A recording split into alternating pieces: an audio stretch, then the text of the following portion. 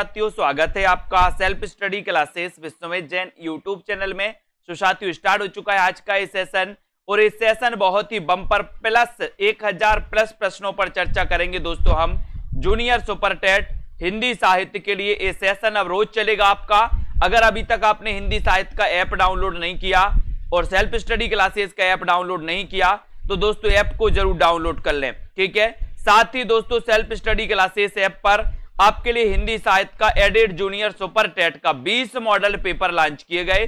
और ये 20 model paper 100 number Hindi के होंगे दोस्तों, जो मात्र 350 में आप इस मॉडल पेपर की प्रैक्टिस कर सकते हैं। जिन भी साथियों को दोस्तों जूनियर सुपर टेट की प्रैक्टिस करना है मॉडल पेपर की, वो आज ही सेल्फ स्टडी क्लासेस में जाकर इस कोर्स में एडमिशन ले सकते हैं। ठीक है? साथ ही दोस्तों, हिंदी साहित्य की डेली टेस्ट सीरीज़ लॉन्च की गई, जो कि एक साल के लिए रहेगी। रोज सुबह आठ बजे इसमें आपको एक टेस्ट डेली मिलेगा, तीन सौ पैंसठ दिन के लिए। इसमें आप सब्सक्रिप्शन चाहते हैं तो आप दोस्तों ले सकते हैं, एडमिशन, और अपना अध्ययन बहुत अच्छा और मज़बूत बना सकते हैं। आज से दोस्तों अपन आदिकाल से टॉपिक वाइज कुछ प्रश्नों पर चर्चा करेंगे आपके एग्ज़ाम की दृष्टि से। आज का आपका पहला प्रश्न आपके सामने है। फटाफट से बिल्कुल सरल क्वेश्चन है। सिर्फ़ आपको बताते जाना है। बताइए हिंदी साहित्य की दीर्घकालीन गाथा को सूत्रबद्ध करने, सूत्रबद्ध रूप से स्पष्ट करने का सर्वप्रथम प्रयास किसने किया? बताइए। प्रश्न अच्छा है। सभी को बताना है, एक बार लाइक भी करना है। हिंदी साहित्य, बताइए। हिंदी साहित्य की दीर्घकालीन गाथा को सूत्रबद्ध रूप से स्पष्ट करने का सर्वप्रथम प्रयास किसने किया? ये आपका क्वेश्चन है। टेलीग्राम ग्रुप का नाम है I A S study trick ठीक है? अब यहाँ पर आपको बताना है, हिंदी साहित्य की दीर्घकालीन गाथा को प्रश्न क्रमांक आपका एक है, और इस, इन क्लासों को आपको मिस नहीं करना दोस्तों। एक में आपका राइट आंसर है कि सर, सर्वप्रथम प्रयास किया था गारसादा तासी ने। ठीक है? एक नंबर आपका बिल्कुल सही हो जाएगा। Very good answer Garcin de Tassy के ग्रंथ का नाम क्या है? दूसरा क्वेश्चन तत्काल आपसे पूछा जाता है कि गारसा तासी के ग्रंथ का नाम क्या है? बताइए जल्दी से। फटाफट से आपको क्वेश्चन बताना है लाइक करते जाना है और दोस्तों आगे बढ़ते जाना है। बताएँ। गारसा तासी के ग्रंथ का नाम क्या है? ये प्रश्न क्रमांक आपका दो है और दो में आपने बताया है कि सर इनके ग्रंथ का नाम है इस्तबार दल हिंदुस्तानी, यानी बी नंबर। अब आपको बताना कि ये दोस्तों कितने भागों में प्रकाशित हुआ और कब कब हुआ। राम कुमार वर्मा ने इनका दूसरा भाग जो है, ये कब प्रकाशित माना है, इसका आंसर भी आपको बताना है। एक और क्वेश्चन है इस्तबार दाला लेतुत्र हिंदू हिंदुस्तानी ग्रंथ किस भाषा में लिखा गया? पूरे प्रश्न आपको अच्छे से पढ़ना है, अपन बिल्कुल शुरुआत से पढ़ रहे हैं, बहुत बढ़िया अध्ययन कर रहे हैं। प्रश्न क्रमांक तीन का आंसर बताना है आपको। हिंदी, फ्रेंच, अंग्रेज़ी या फिर उर्दू, यानी कि तीन नंबर का सभी लोग बताएँगे। प्रश्न क्रमांक तीन में आपको चयन करना है और तीन का आपने बताया कि सर ये जो ग्रंथ है, ये ग्रंथ पेरिस से प्रकाशित हुआ था और ये फ्रेंच भाषा में। लिखा गया, बिल्कुल सही आंसर है वेरी गुड है ना? तबकातु सुईरा के लेखक कौन है? प्रश्न क्रमांक चार में। बताएँ जल्दी से। और जिन भी साथियों को जूनियर सुपर टेट का मॉडल पेपर लेना है, सौ नंबर हिंदी के लिए, वो मॉडल पेपर 20 मॉडल पेपर ले सकते हैं। मात्र 350 में दोस्तों 350 में सेल्फ स्टडी क्लासेस ऐप में इन मॉडल पेपर का प्रैक्टिस लगा सकते हैं। संभावित प्रश्नों को लेकर के मॉडल पेपर बनाए हैं।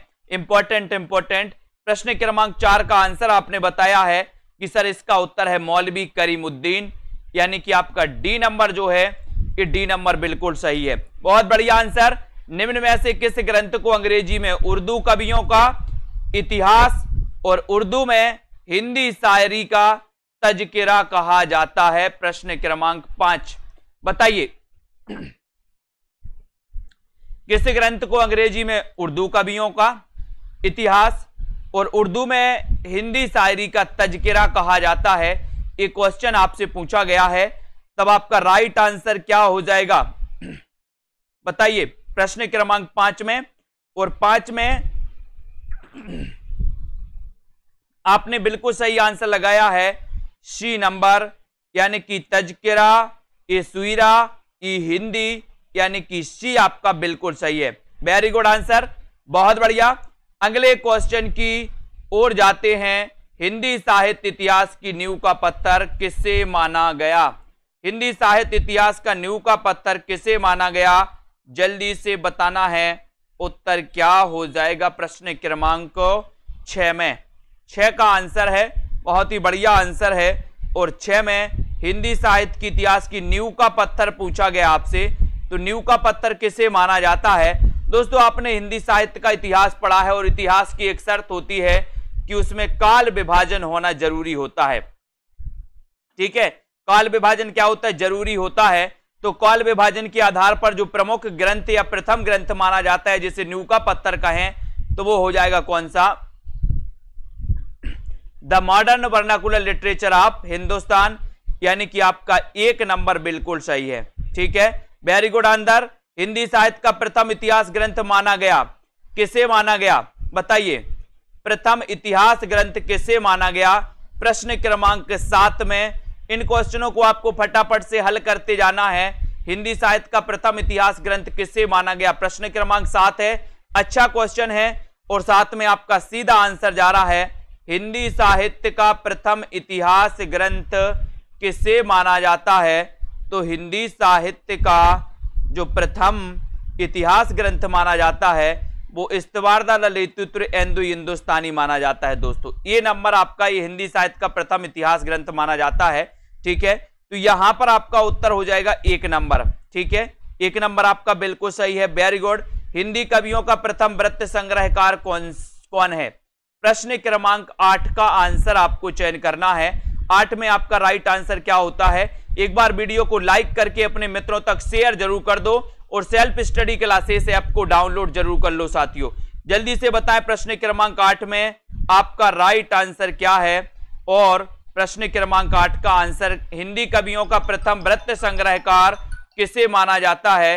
ये आपका क्वेश्चन है और सीधा आंसर आपका आठ में जा रहा है कि सर वो माना जाता है किसको? सेव सेह सेंगर को। यानी कि आपका जो सी नंबर है, ये बिल्कुल सही है। इनके ग्रंथ का नाम आपको बताना है। शिव सेन सेंगर का ग्रंथ कौन सा है, बताइए। और ये प्रश्न क्रमांक नौ है कि हिंदी साहित्य इतिहास लेखन में सबसे पहले काल विभाजन, प्रवृत्ति निरूपण और मूल्यांकन किसने किया? बहुत अच्छे प्रश्न हैं। आपसे बनेंगे और आपसे बनने भी चाहिए। ये क्वेश्चन हमेशा पूछे जाते हैं दोस्तों। तो बताएँ, फटाक से चयन करें हिंदी साहित्य इतिहास लेखन में सबसे पहले काल विभाजन किसने किया? काल विभाजन किसने किया? बताइए। और आपका सीधा आंसर यहाँ पर जा रहा है। क्या जा रहा है? आंसर आपका जा रहा है प्रश्न क्रमांक नौ में, डॉक्टर ग्रियर्सन, यानी कि आपका जो डी नंबर है, डी नंबर ये बिल्कुल सही हो जाएगा। ठीक है? ये आपका डी नंबर बिल्कुल सही है, बहुत बढ़िया आंसर ग्रियर्सन आपका राइट आंसर है। अगले क्वेश्चन की ओर आते हैं। आपको बताना यहाँ पर एशियाटिक सोसाइटी ऑफ़ बंगाल की पत्रिका के विशेषांक, सन अठारह ईस्वी में किस ग्रंथ का प्रकाशन हुआ? किस ग्रंथ का प्रकाशन हुआ? बताइए।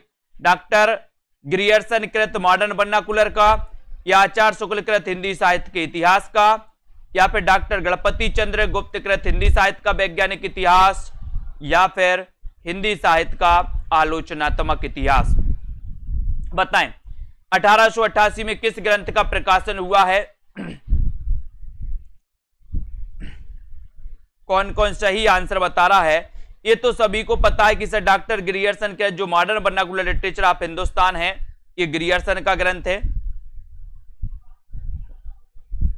यानी कि आपका उत्तर एक नंबर जो है, ये बिल्कुल सही हो जाएगा। ठीक है, हिंदी साहित्य का इतिहास, ये रामचंद्र चौक ने लिखा। हिंदी साहित्य का वैज्ञानिक इतिहास, ये गणपति चंद्रगुप्त ने। और हिंदी साहित्य का आलोचनात्मक इतिहास लिखा था 1938 में राम कुमार वर्मा ने। ठीक है, अगला क्वेश्चन प्रश्न क्रमांक 11 में, the modern vernacular literature of Hindustan को हिंदी का प्रथम साहित्य इतिहास ग्रंथ किसने माना? किसने माना? प्रश्न क्रमांक 11 में आपको चयन करना है। किसने माना, बताइए। 11 का राइट आंसर लाइक करते रहें और शेयर ज़रूर करते रहें दोस्तों। किसने माना है? मॉडर्न बर्नाकुलर जो कि दोस्तों अठारह में ये प्रकाशित हुआ था। एशियाटिक सोसाइटी ऑफ़ बंगाल की दोस्तों विशेषांक में। और यहाँ पर बिल्कुल सही आंसर लगाए डॉक्टर किशोरी लाल गुप्त, यानी बी नंबर। वेरी गुड बिल्कुल सही आंसर है। बी नंबर आपका राइट आंसर है। इन्होंने प्रथम साहित्य इतिहास ग्रंथ किसने माना है? तो किशोरी लाल गुप्त ने। हिंदी साहित्य के इतिहास का प्रस्थान बिंदु किससे कहा गया? हिंदी साहित्य के इतिहास का प्रस्थान बिंदु किससे कहा जाता है? प्रश्न क्रमांक 12 में आपको चयन करना है। हिंदी साहित्य के इतिहास का एक क्वेश्चन आता है दोस्तों। बहुत ही इंपॉर्टेंट क्वेश्चन है। प्रश्न क्रमांक 12 में। और 12 का आपका राइट आंसर क्या हो जाएगा? 12 का चयन करना है। करिए चयन। 12 में नीचे लिंक दिए हिंदी साहित्य के ऐप की। तो हिंदी साहित्य का ऐप आप लोग डाउनलोड कर सकते हैं दोस्तों। है ना? स्पेशल हिंदी साहित्य विषय के लिए ऐप बनाया, बनवाया गया। और यहाँ पर प्रस्थान बिंदु किसे कहा जाता है? तो वो कहा जाता है, इससे उससे है। सरोज को जो कि सेव सेंगर की रचना है, यानी कि आपका दोस्तों सी नंबर बिल्कुल सही। वेरी गुड डॉक्टर ग्रियर्सन ने अपने साहित्य इतिहास ग्रंथ लेखन में सर्वाधिक सहायता किससे दी? किससे दी सर्वाधिक सहायता? डॉक्टर ग्रियर्सन ने। प्रश्न क्रमांक तेरह का आंसर बताइए। ग्रियर्सन ने सबसे ज़्यादा सहायता किस ग्रंथ से ली है? ये आपका क्वेश्चन है। फटाफट से आपको बताना है। लाइक करना है अपने मित्रों तक और शेयर कर देना है दोस्तों। बताएँ प्रश्न क्रमांक तेरह और उत्तर जा रहा है आपका। क्या जा रहा है? किससे ली है?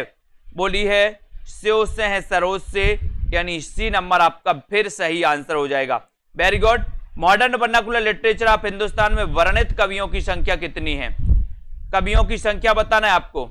नौ सौ बावन, एक हज़ार छह सौ बानवे या फिर सात सौ पचास? Modern vernacular literature of Hindustan में वर्णित कवियों की संख्या कितनी है? बहुत अच्छा क्वेश्चन है। प्रश्न क्रमांक चौदह में। कितनी है संख्या? फटाफट से बताते जाएँ। बहुत सारे प्रश्नों को अपन को चयन करना है। प्रश्न क्रमांक चौदह का आंसर और चौदह में आपका आंसर जा रहा है कि सर इसका आंसर नौ सौ बावन हो जाएगा। है ना? Modern vernacular literature of Hindustan में वर्णित कवियों की संख्या कितनी है? नौ सौ बावन। यानी आपका उत्तर एक नंबर बिल्कुल सही है। हिंदी के विधेयवादी साहित्य इतिहास के आदम प्रवर्तक शुक्ल जी नहीं, प्रत्युत गिरियर्सन है। ये कथन किसका है? ये कथन किसका है? प्रश्न क्रमांक पंद्रह में। गारसा दत्तासी का, प्रोफेसर नलिन बिलोचन शर्मा का, पंडित हजारी प्रसाद द्विवेदी का, या फिर डॉक्टर नामवर सिंह का? ये आपको चयन करना प्रश्न क्रमांक पंद्रह में। भैया I A S study trick search कर लो टेलीग्राम में। कॉपी पेस्ट नहीं करो। हिंदी के विधेयवादी साहित्य इतिहास के आदम प्रवर्तक शुक्ल जी नहीं, प्रत्युत गिरियर्सन है। ये आपका कथन है प्रश्न क्रमांक पंद्रह में। और पंद्रह का एक कथन जो कहा है, वो कहा है, किसने? प्रोफेसर नलिन विलोचन शर्मा का है ये कथन। बी नंबर आपका बिल्कुल सही है। B number very good the modern vernacular literature of Hindustan Hindi के अध्येताओं की दृष्टि का केंद्र बिंदु नहीं बन सका, क्योंकि क्यों नहीं बन सका? बताइए। वैसे उसे सरोज के आधार पर लिखा गया है।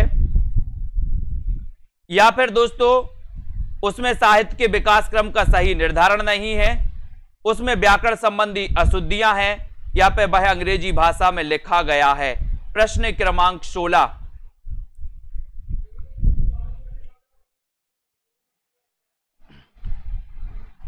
क्या कारण है? सोलह का आंसर बताना है Anurag Yadav ji. Very good answer वह अंग्रेज़ी भाषा में लिखा गया है, यानी कि डी आपका बिल्कुल सही।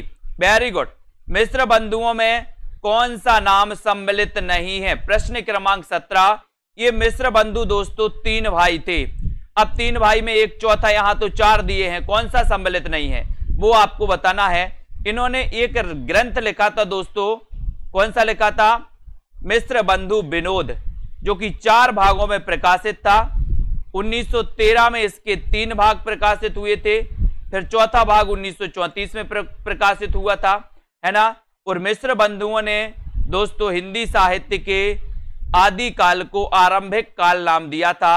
यहाँ पर आपका सत्रह का आंसर आपको चयन करना है और सीधा आंसर आपका जा रहा कि सर कृष्ण बिहारी ये मिश्र बंधु में शामिल नहीं थे। यानी डी आपका राइट आंसर है। Very good answer. सिर्फ़ आपको उत्तर बताना है फटाफट से, ठीक है? सिर्फ़ अपन पढ़ रहे हैं। मिश्र बंधु विनोद में हिंदी साहित्य के इतिहास को कितने भागों में, कितने भागों में दोस्तों विभाजित किया गया, ये जल्दी से बताइए। राइट आंसर क्या है? पटाख से बताएँ।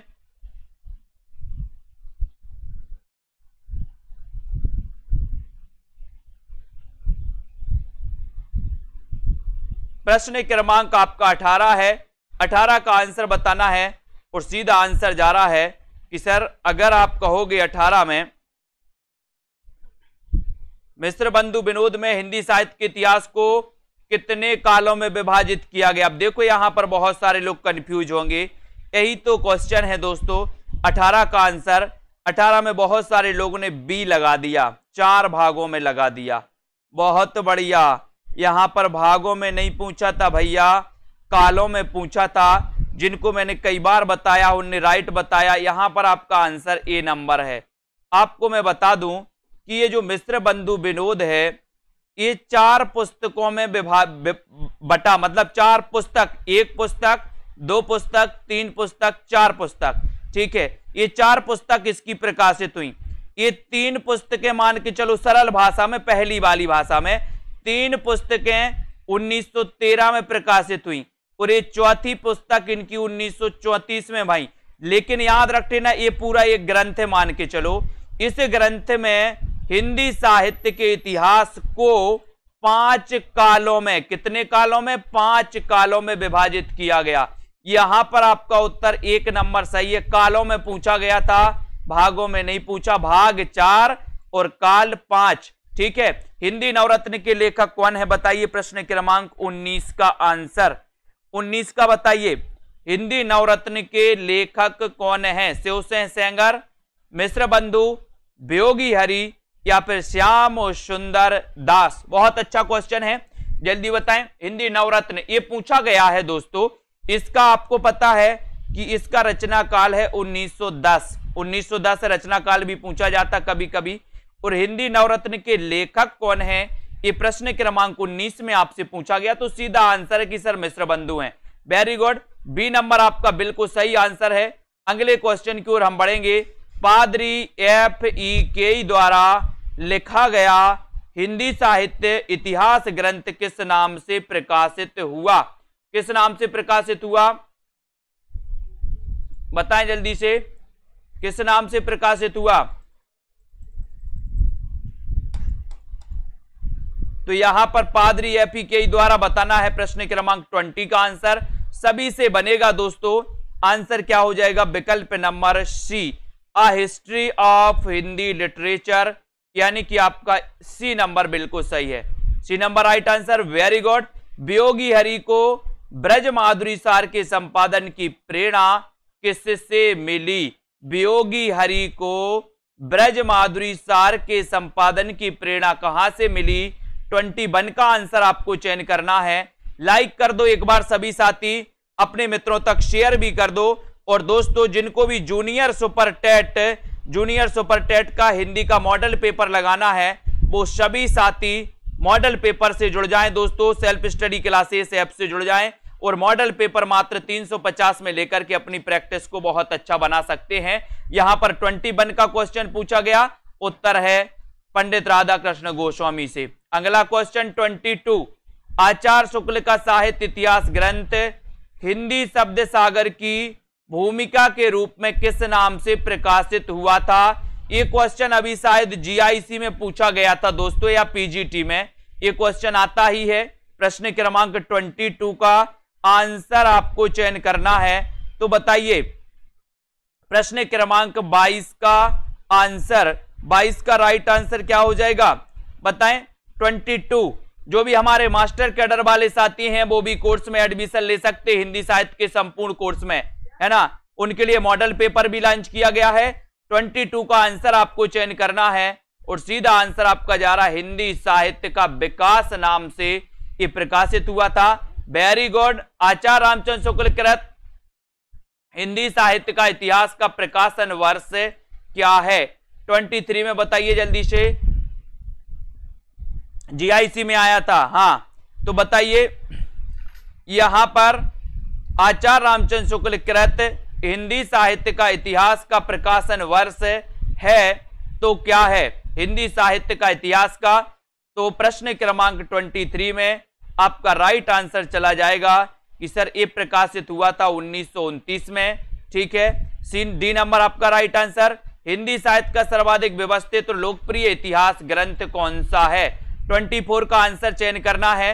वीडियो को लाइक और एक बार शेयर कर दें सभी साथी अपने मित्रों तक।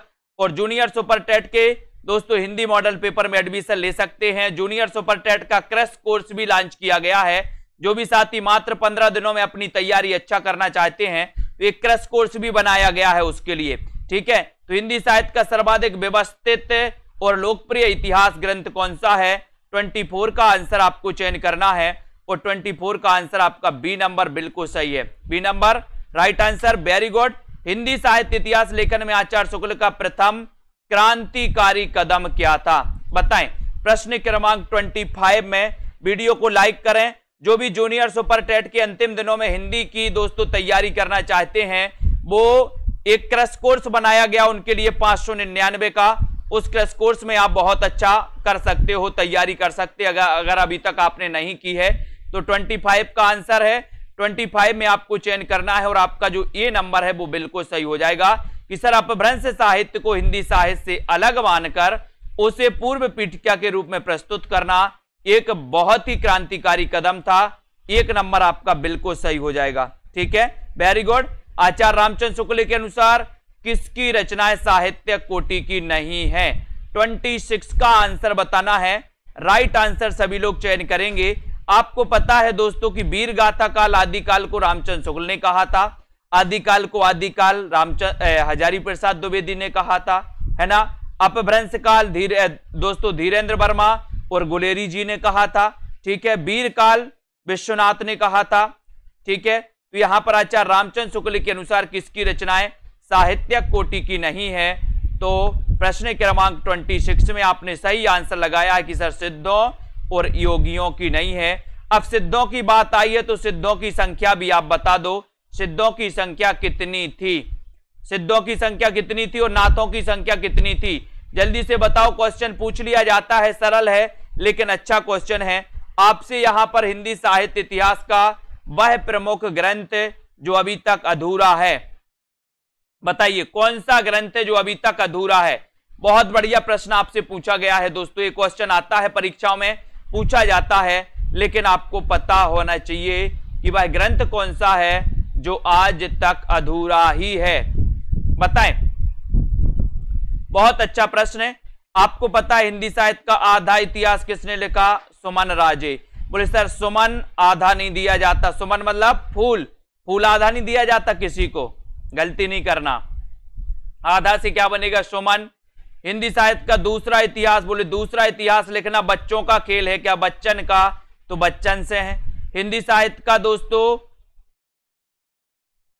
समीक्षात्मक इतिहास प्रोफेसर वासुदेव सेह ने लिखा और हिंदी साहित्य का आलोचनात्मक इतिहास ये डॉक्टर राम कुमार वर्मा का है और यही ग्रंथ जो है, यही ग्रंथ क्या है? अधूरा है। क्या है? अधूरा, कौन सा? डी नंबर वेरी गुड अगला क्वेश्चन हिंदी साहित्य के इतिहास को आलोचनात्मक ढंग से समझाने का श्रेय किसको है? आलोचनात्मक ढंग से पूछा गया। अब हिंदी साहित्य का आलोचनात्मक इतिहास नहीं पूछा गया यहाँ पर, हालाँकि विकल्प भी नहीं है, लेकिन आलोचनात्मक ढंग से समझाने का श्रेय किसे है, ये आपसे पूछा गया 29 में। बताइए सभी लोग। लाइक कर दो, सभी साथी लाइक भी किया करें दोस्तों। और बताएँ, आपका प्रश्न है, बहुत बढ़िया प्रश्न है 28 का। और 28 में आपने बताया कि sir Padam Lal, Punna Lal, Bakshi very good बहुत बढ़िया। अब आपको बताना है, हिंदी साहित्य इतिहास की रूपरेखा से युक्त हिंदी के मुसलमान कवि नामक पुस्तक के लेखक कौन है? हिंदी के मुसलमान कवि नामक पुस्तक के लेखक कौन है? प्रश्न क्रमांक 29 है। सभी लोग लाइक करें, ये सेशन रोज नौ बजे चलेगा दोस्तों आपका।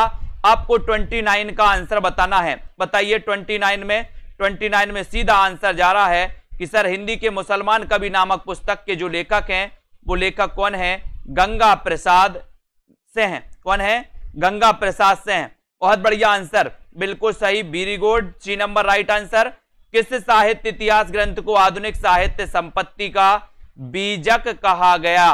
बहुत बढ़िया प्रश्न है, तीस नंबर।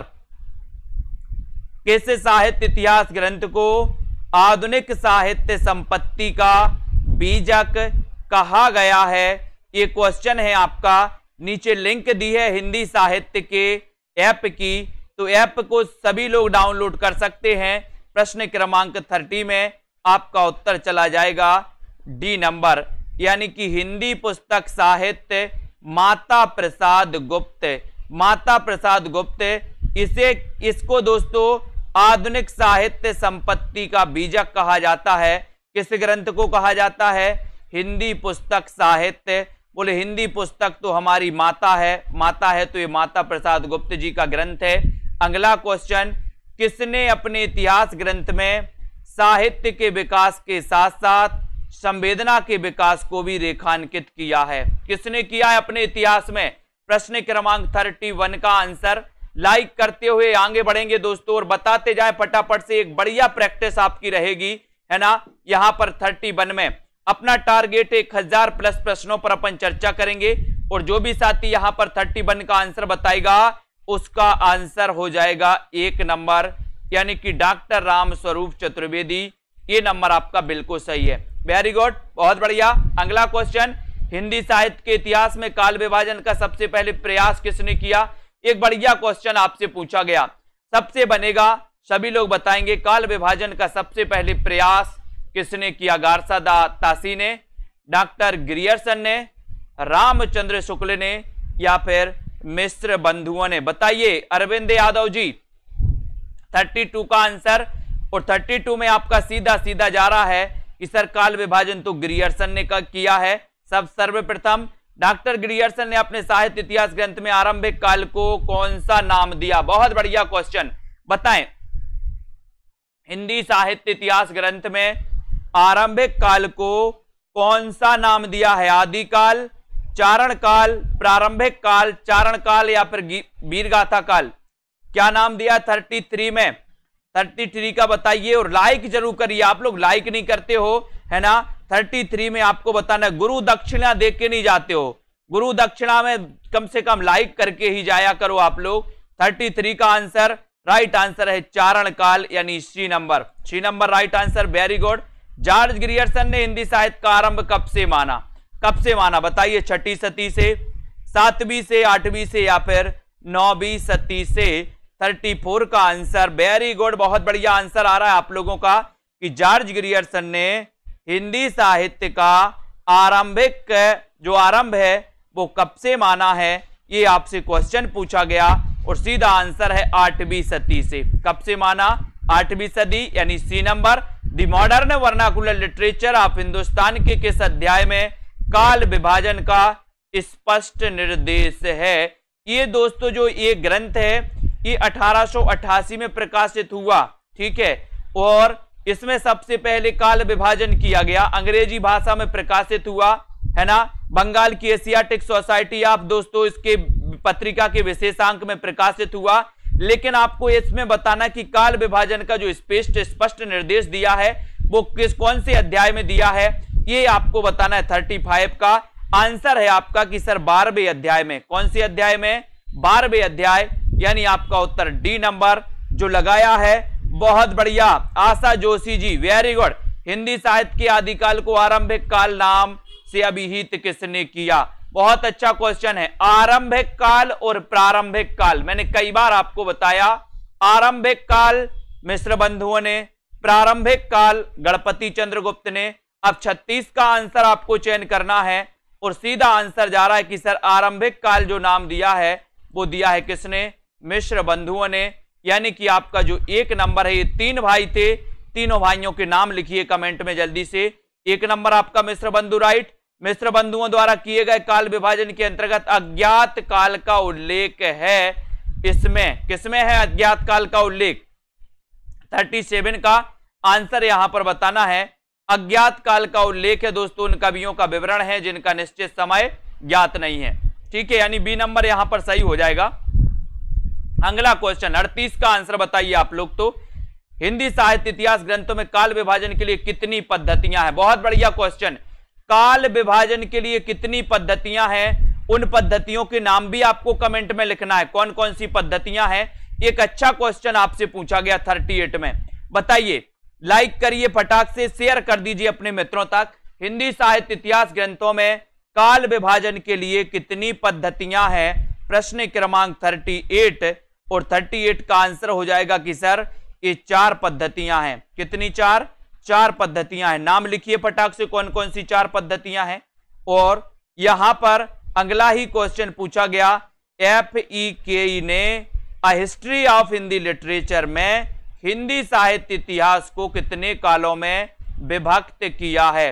कितने कालों में विभक्त किया? बताइए। चार, पाँच छ या फिर सात? बताएँ, प्रश्न क्रमांक थर्टी नाइन में बताना है कि एफ़ ई के ने हिस्ट्री ऑफ़ हिंदी लिटरेचर में हिंदी साहित्य को कितने कालों में दोस्तों विभक्त किया? तब आपका उत्तर आया है कि सर चार कालों में। कितने कालों में एफ़ ई के ने? चार कालों में, यानी कि एक नंबर आपका बिल्कुल सही है। बहुत बढ़िया।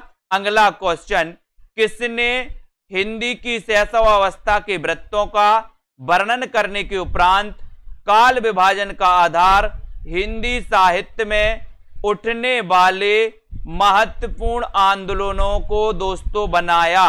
काल विभाजन का आ, आधार जो है आंदोलनों को बनाने वाले जो विद्वान हैं वो विद्वान कौन है? उन विद्वान का नाम आपको बताना है प्रश्न क्रमांक चालीस में। चालीस में बताइए किसने बनाया? बहुत अच्छा क्वेश्चन है। चालीस का आंसर आपको चयन करना है और जितने भी हमारे साथी हैं, दोस्तों, सभी लोग लाइक ज़रूर करें और सेल्फ स्टडी क्लासेस ऐप को डाउनलोड कर लें। प्रश्न क्रमांक 40 का आंसर आपका बिल्कुल सही है कि सर आंसर डी नंबर लगा दो। डी मैंने आंसर लगा दिया, बिल्कुल right answer very good D आपका सही है। कैसे साहित्य इतिहासकार ने जनता की चित्तवृत्तियों को काल विभाजन का आधार बनाया? बहुत बढ़िया प्रश्न है और बहुत बढ़िया आंसर आना चाहिए। जनता की चित्तवृत्तियों को काल विभाजन का आधार बनाने वाले विद्वान कौन है? बताएँ। जल्दी से बताएँ, किस साहित्य इतिहासकार ने जनता की चित्तवृत्ति को काल विभाजन का आधार बनाया है?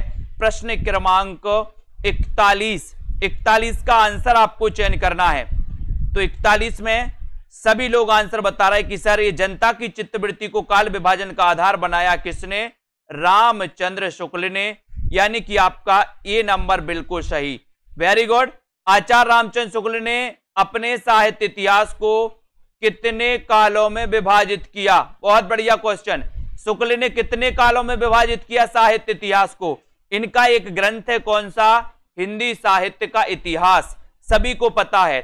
अब इस हिंदी साहित्य के इतिहास में हिंदी साहित्य को कितने कालखंडों में विभाजित किया है? ये प्रश्न क्रमांक 42 का आंसर बताना है। देखते हैं कौन कौन सही उत्तर बताता है।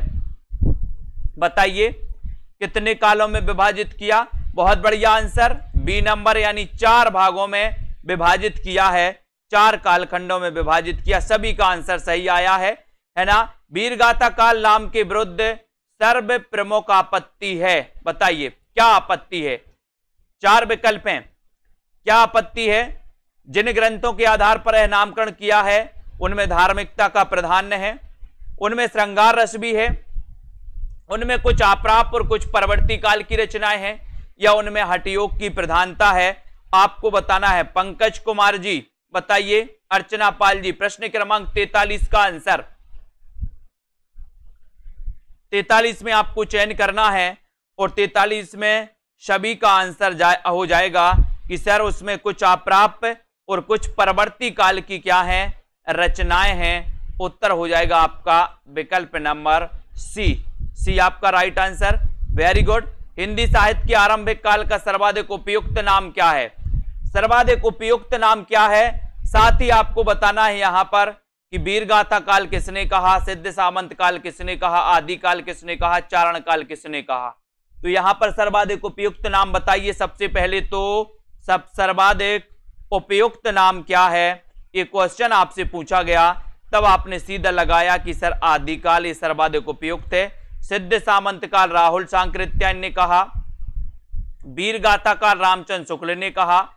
चारण काल दोस्तों, गिरियर्सन ने कहा और रामकुमार वर्मा ने भी कहा। ठीक है? आचार्य शुक्ल ने अपने साहित्य इतिहास ग्रंथ में लगभग कितने वर्षों तक के साहित्य पर प्रकाश डाला है? ये आपका क्वेश्चन है। नीचे हिंदी साहित्य की, दोस्तों, आपके ऐप की लिंक दी है। तो आप हिंदी साहित्य के ऐप को डाउनलोड कर सकते हैं, है ना? यहाँ पर आपको चयन करना है 45 नंबर का प्रश्न है। 45 नंबर में आपका सही आंसर क्या हो रहा है? बहुत बढ़िया प्रश्न है 45 में, और आपका उत्तर यहाँ पर चला जाएगा क्या? एक नंबर 950 वर्ष का। कितने वर्षों का? 950 वर्षों तक के साहित्य पर प्रकाश डाला है, यानी कि आपका एक नंबर 950 वर्ष बिल्कुल सही है, ठीक है? किसके साहित्य इतिहास ग्रंथ में आदिकाल के लिए चारण काल शब्द का प्रयोग नहीं हुआ? किसके नहीं हुआ? बहुत अच्छा क्वेश्चन है। किसके साहित्य इतिहास ग्रंथ में आदिकाल के लिए चारण काल शब्द का प्रयोग नहीं हुआ? प्रश्न क्रमांक 46 में आपको चयन करना है और 46 का सीधा आंसर जा रहा है। क्या जा रहा है? बताइए। किसके साहित्य इतिहास ग्रंथ में आदिकाल के लिए चारण काल शब्द का प्रयोग नहीं हुआ? यानी कि यहाँ पर आपके तीन क्वेश्चन बन रहे दोस्तों।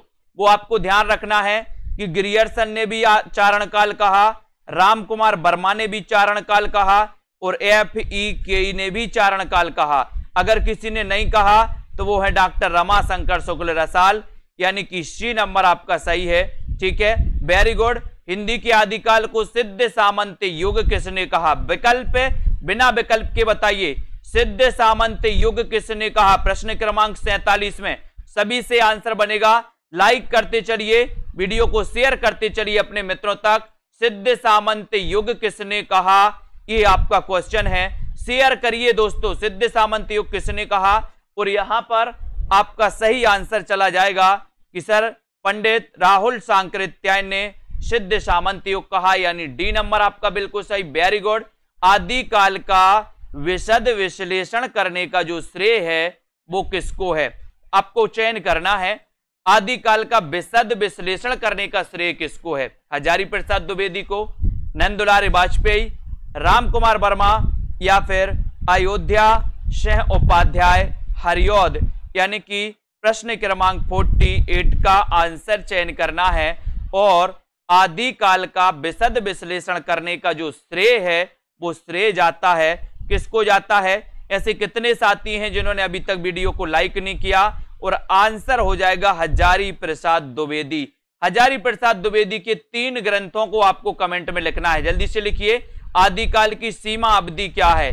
सीमा अवधि बताइए, छठी शताब्दी से नौवीं शताब्दी तक या फिर दोस्तों सातवीं शताब्दी से सत्रहवीं शताब्दी तक, आठवीं से ग्यारहवीं या ग्यारहवीं से चौदहवीं शताब्दी तक? प्रश्न क्रमांक 49 49 का आपको चयन करना है। 49 में आपका सीधा आंसर क्या जा रहा है कि सर, जो आदिकाल की समय अवधि है, वो क्या है?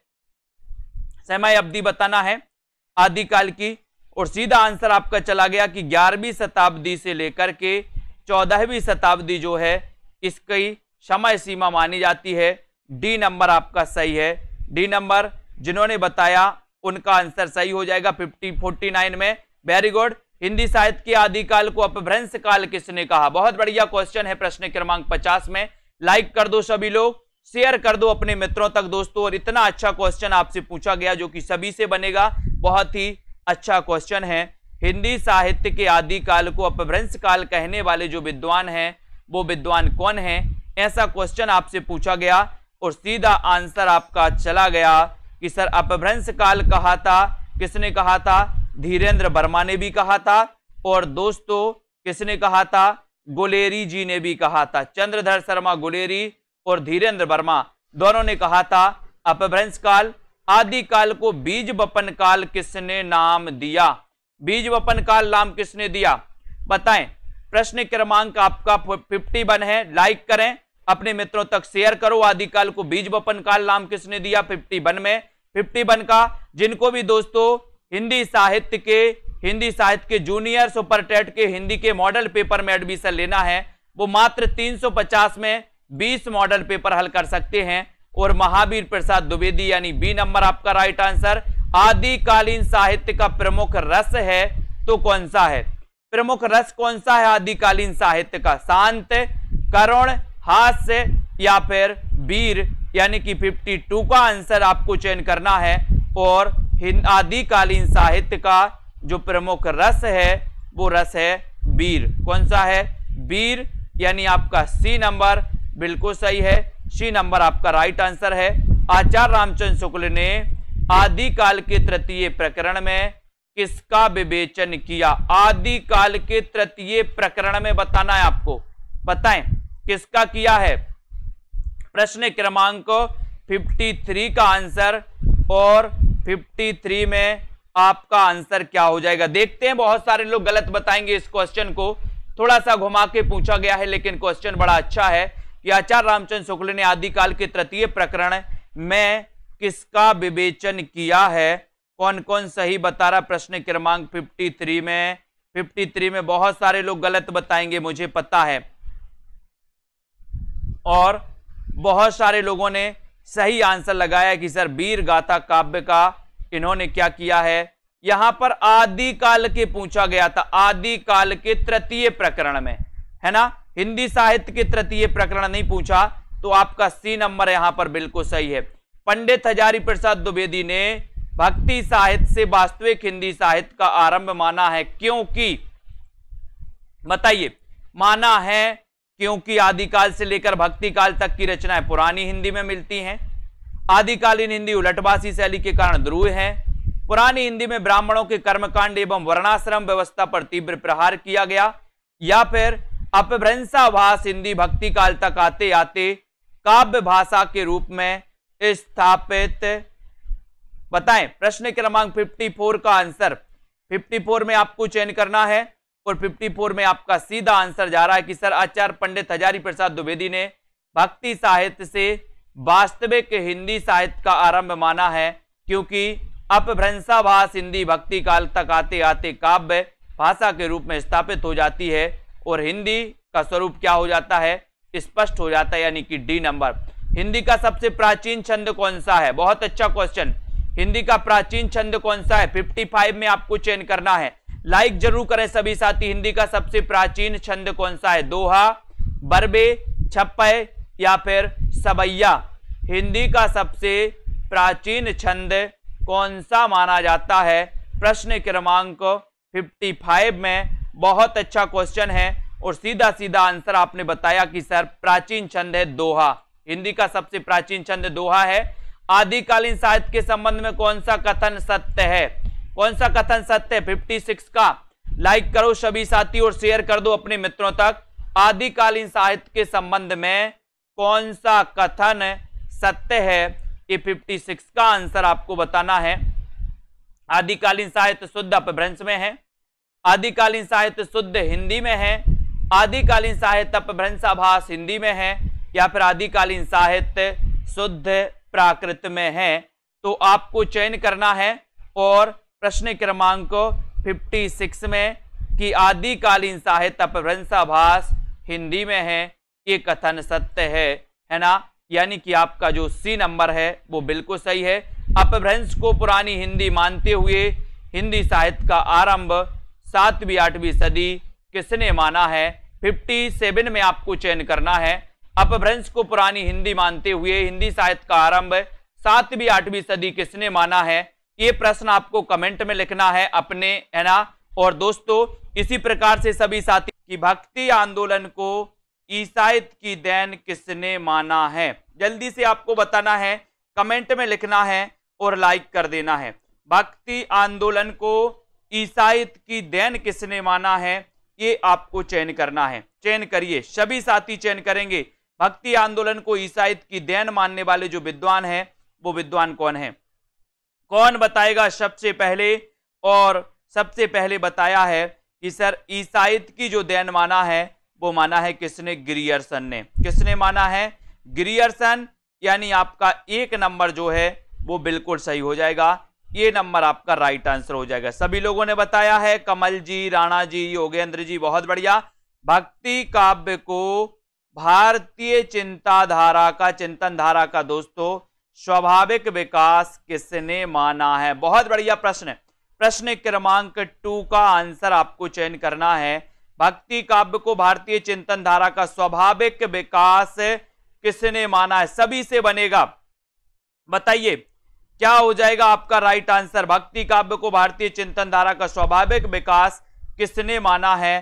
प्रश्न क्रमांक टू का आंसर और टू में आपका उत्तर हो जाएगा। हजारी प्रसाद द्विवेदी, यानी कि आपका जो बी नंबर है, वो बिल्कुल सही है। बी नंबर आपका राइट आंसर है।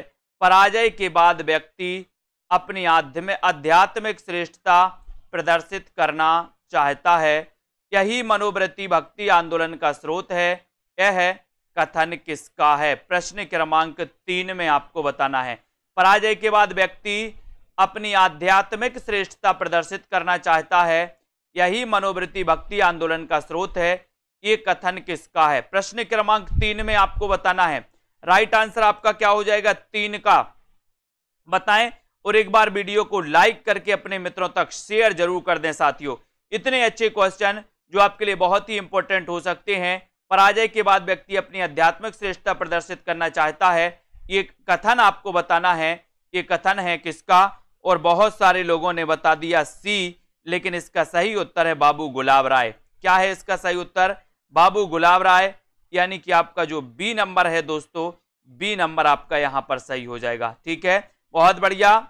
दिल से हजली बहुत बढ़िया आंसर बी नंबर जिन्होंने बताया राइट आंसर भक्ति काल को हिंदी साहित्य का स्वर्ण युग किसने कहा है? आपको दोस्तों विकल्प अनुसार उत्तर बताना है। स्वर्ण काल और स्वर्ण युग में मतभेद नहीं करना यहाँ पर, है ना? ये क्वेश्चन जैसा पूछा गया है, इसमें आप क्या उत्तर लगाओगे? बताइए प्रश्न क्रमांक चार का आंसर। तो स्वर्ण काल और स्वर्ण युग, यहाँ पर मतभेद करना है दोस्तों, बिल्कुल सही है। यहाँ पर स्वर्ण युग किसने कहा और स्वर्ण काल किसने कहा? ऐसा अगर क्वेश्चन आता है तो आपको मतभेद करना है स्वर्ण काल और स्वर्ण युग में। तो बताइए यहाँ पर राइट आंसर क्या हो जाएगा आपका? दोनों ऑप्शन है आपके पास। एक तो ग्रियर्सन भी दिया आपके पास और एक डॉक्टर श्याम सुंदर दास भी दिया है। देखते हैं कौन कौन सही उत्तर बता रहा है। बताइए। और बहुत सारे लोगों ने बिल्कुल सही आंसर बताया है कि सर, स्वर्ण काल कहा था किसने? गिरियर्सन ने। लेकिन स्वर्ण युग जो कहा था, वो श्याम सुंदर दास ने कहा था। अगर इस प्रकार का क्वेश्चन आए तो आपको सी नंबर लगाना है। ठीक है? अगर यहाँ पर स्वर्ण युग की जगह अगर काल होता तो आप जॉर्ज गिरियर्सन लगाते। ठीक है? जॉर्ज ग्रियर्सन बोले, काल के सामने गिरे गिरे तो ग्रियर्सन। है ना? तो काल कहा किसने? जॉर्ज ग्रियर्सन ने। युग कहा किसने? श्याम सुंदर दास ने। तो यहाँ पर आपका उत्तर सी नंबर बिल्कुल सही हो जाएगा। ठीक है? हिंदी साहित्य के इतिहास में नामकरण की दृष्टि से कौन सा काल सबसे कम विवादास्पद रहा है? विवादास्पद सबसे कम कौन सा काल रहा है? प्रश्न क्रमांक पाँच में सभी साथी ऐप को डाउनलोड कर लें। ऐप की लिंक नीचे दी है दोस्तों। और जिन भी साथियों को दोस्तों क्या करना है, ओपी चिंपा जी बिल्कुल, बहुत बढ़िया। हिंदी साहित्य के इतिहास में नामकरण की दृष्टि से कौन सा काल सबसे कम विवादास्पद रहा है, ये आपको बताना है प्रश्न क्रमांक पाँच में। और पाँच का उत्तर आपका चला जाएगा। भक्ति काल, यानी आपका डी नंबर बिल्कुल सही हो जाएगा। ठीक है, कम विवादास्पद रहा है भक्ति काल। Very good. अगले क्वेश्चन की ओर आते दोस्तों। अगला क्वेश्चन आपको बताना है कि भक्ति को धर्म का रसात्मक रूप किसने कहा है? प्रश्न क्रमांक छ में, भक्ति को धर्म का रसात्मक रूप किसने कहा है? ये प्रश्न क्रमांक आपका छ है। छ का आंसर आपको चयन करना है। सभी साथी चयन करेंगे। जल्दी से नीचे लिंक दी है ऐप की। एक तो हिंदी साहित्य का आपका ऐप है और एक है दोस्तों आपका सेल्फ स्टडी क्लासेस ठीक है? तो भक्ति को धर्म का रसात्मक रूप किसने कहा? यह प्रश्न क्रमांक छह का आंसर आपसे पूछा है और सभी लोगों ने बिल्कुल सही बताया कि सर आचार्य शुक्ल ने कहा, यानी बी नंबर आपका बिल्कुल सही है। B number right answer very good भक्ति काल को हिंदी साहित्य का स्वर्ण युग कहा जाता है। क्योंकि क्यों कहा जाता है? बताइए सभी लोग बताएँ, भक्ति काल को हिंदी साहित्य का स्वर्ण युग कहा जाता है। क्यों कहा जाता है? प्रश्न क्रमांक सात का आंसर बताना है। सात का राइट आंसर क्या हो जाएगा? भक्ति काल को हिंदी साहित्य का स्वर्ण युग कहा जाता है। क्यों कहा जाता है? ये उत्तर आपको चयन करना है। और यहाँ पर आपका उत्तर क्या होता है? देखते हैं कौन कौन सही उत्तर बता पाता है। यह है प्रश्न आपका। चयन करना है लाइक करना है शेयर करना है और इस सेशन से आपको जुड़े रहना है और यहाँ पर आपने उत्तर बता दिया बी इस काल की रचना अत्यंत लोकप्रिय एवं उत्कृष्ट है, यानी कि बी नंबर आपका बिल्कुल सही है। ठीक है? बहुत बढ़िया। बी नंबर आपका राइट आंसर हो जाएगा। भक्ति आंदोलन को इस्लामी आक्रमण से पराजित हिंदू जनता की असहाय एवं निराश मना स्थिति से किसने जोड़ा है? प्रश्न क्रमांक आठ में बताना है। किसने जोड़ा है? महापंडित राहुल सांकृत्य ने आचार्य हजारी प्रसाद द्विवेदी ने, रामचंद्र शुक्ल ने या फिर नंद दुलारे वाजपेयी ने? बताएँ। भक्ति आंदोलन को इस्लामी आक्रमण इस्लामी आक्रमण से पराजित हिंदू जनता की असहाय एवं निराश मना स्थिति से किसने जोड़ा? प्रश्न क्रमांक आठ का आंसर। और आप लोगों का आंसर बिल्कुल सही आ रहा है कि सर, इसमें अगर टिक लगाओगे तो आप रामचंद्र शुक्ल लगा देना सी नंबर लगा देना, जो कि आपका बिल्कुल सही है। वेरी गुड बहुत बढ़िया। यहाँ पर आ जाते हैं भक्ति द्रविड़ उपजी लाए रामानंद ये किसने कहा है। ये आपको बताना है। बताइए चिंपा जी प्रश्न क्रमांक नौ आरपीएससी आ रहा है क्या चिंपा जी बताइए यहाँ पर। भक्ति द्राविण उपजी लाए रामानंद। प्रश्न क्रमांक नौ का आंसर और नौ में आपका राइट आंसर क्या हो जाएगा? भक्ति द्राविड़ उपजी लाए रामानंद। ये किसने कहा? प्रश्न क्रमांक नौ में और नौ का सीधा आंसर आपका जा रहा है कि सर ये कहा है किसने? कबीर ने। किसने कहा है? कबीर, यानी कि आपका जो डी नंबर है, यहाँ पर आपका डी बिल्कुल सही हो जाएगा। रामानुजाचार्य के गुरु कौन थे? प्रश्न क्रमांक दस। रामानुजाचार्य के गुरु बताना है आपको। रामानुजाचार्य के गुरु कौन थे? ये आपका क्वेश्चन है। प्रश्न क्रमांक दस में अपन को प्रश्नानुसार उत्तर बताना है। तब आपका राइट आंसर यहाँ पर क्या हो जाता है? बताइए। लाइक करना है सभी साथियों को शेयर कर दो अपने मित्रों तक। Self study classes app download कर लो। Self study classes app download कर लेना है। रामानुजाचार्य के गुरु कौन थे? तो उत्तर हो जाएगा ए नंबर, यानी कि कांचीपूर्ण। कौन थे? कांचीपूर्ण। ए नंबर जिन्होंने बताया राइट आंसर किसके? भक्ति परक गीतों का संकलन अभंग के नाम से जाना जाता है। बताएँ, किसके भक्ति परक गीतों का संकलन अभंग के नाम से जाना जाता है? ये प्रश्न क्रमांक आपका ग्यारह है। तो आपको बताना है, उत्तर क्या हो जाएगा? ग्यारह नंबर का। राइट आंसर बताना है लक्ष्मी जी, और अभंग के नाम से जाना जाता है, वो है दोस्तों कौन? नामदेव। एक नंबर नामदेव बिल्कुल सही हो जाएगा, ठीक है? बहुत बढ़िया। नामदेव आपका राइट आंसर, हिंदी भक्ति काव्य का शुभारंभ किसकी रचनाओं में माना गया है? किसकी रचना? भक्ति काव्य का शुभारंभ किसकी रचनाओं से माना गया?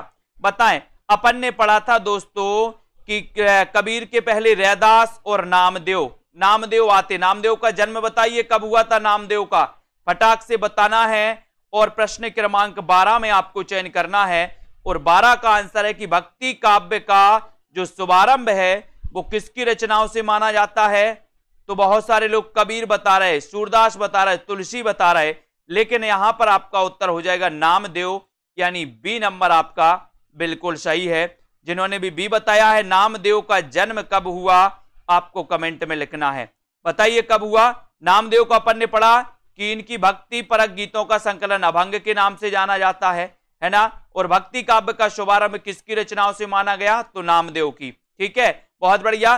दिव्य प्रबंधम काव्य संकलन है दोस्तों। तो बताइए किसका है दिव्य प्रबंधम? सभी लोग बताएँगे। प्रश्न क्रमांक तेरह। जब दोस्तों आपसे क्रमबद्ध पूछा जाता है तो आपको पता होनी चाहिए कि सर, पहले नामदेव, रैदास और फिर बाद में आते हैं कबीर, है ना? प्रश्न क्रमांक तेरह का आंसर, और तेरह का आपका उत्तर हो जाएगा कि सर, ये आलबार भक्तों का काव्य संकलन है दिव्य प्रबंधम। ठीक है? बहुत बढ़िया। ये सी नंबर आपका सही हो जाएगा, लेकिन आपको बताना है कि आलबार भक्तों की संख्या कितनी है? आलबार भक्तों की संख्या कितनी है? और आलबार भक्तों में एक दोस्तों, कौन थी? महिला संत भी थी। उनका नाम क्या था वो भी आपको बताना है। बताइए आलबार भक्तों के बारे में। ये दिव्य प्रबंधम काव्य संकलन है आलबार भक्तों का। इनकी संख्या आपको बतानी है। आलबार का शाब्दिक अर्थ भी आपको चयन करना है। प्रश्न क्रमांक चौदह में राइट आंसर आपको बताना है। शेयर करना है सभी मित्रों को आलबार का शाब्दिक अर्थ क्या होता है।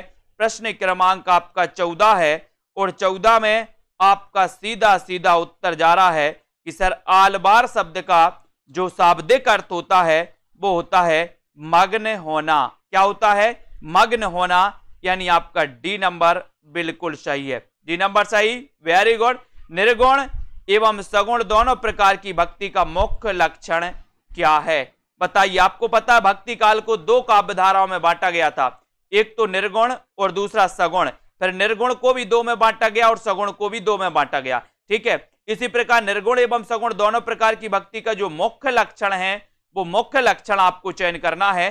प्रश्न क्रमांक पंद्रह में self study classes app download कर लो और हिंदी साहित्य के ऐप की नीचे लिंक दी है। तो लिंक से आप जुड़ सकते हो। जिन भी साथियों को डेली प्रैक्टिस सेट लगाना है डेली प्रैक्टिस करना है, उनके लिए कोर्स लॉन्च किया गया डेली प्रैक्टिस का।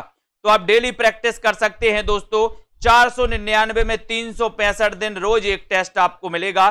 ठीक है? तो यहाँ पर प्रश्न क्रमांक आपका पंद्रह है। और पंद्रह है, भगवत विषयक रति एवं अनन्यता, यानी कि आपका जो ये नंबर है, वो बिल्कुल सही है। ये सगुण निर्गुण दोनों प्रकार की भक्ति का क्या है? मुख्य लक्षण है, ठीक है? नम्माल बार के गीतों का सबसे पहले संपादन किसने किया? नम्माल बार के गीतों का सबसे पहले संपादन किसने किया? बताइए, लोकेश जी, संत एकनाथ ने, नाथ मुनि ने, ज्ञानेश्वर ने या फिर नामदेव ने। नम्माल बार के गीतों का सबसे पहले संपादन किसने किया? ये प्रश्न क्रमांक 16 का आंसर आपको चयन करना है। और दोस्तों, यहाँ पर नम्माल बार यानी कि जो बी नंबर है, ये बी नंबर आपका सही हो जाएगा। ठीक है? ये नाथ मुनि ने किया है। ठीक है? बहुत बढ़िया। आलबार गायकों की संख्या क्या थी? आलबार गायकों की संख्या कितनी थी?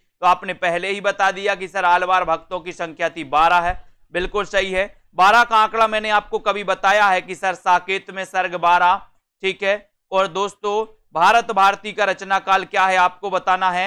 और आलवार भक्तों की संख्या कितनी? बारह, ठीक है? और दोस्तों, रामानंद के शिष्यों की संख्या भी कितनी? बारह, ठीक है? ये भी अपन को याद कर लेना। अब आपको बताना है भारत भारती का रचना काल क्या है। जल्दी से बताइए भारत भारती मैत्री शरण गुप्त की। आर बार महिला संत का नाम क्या है?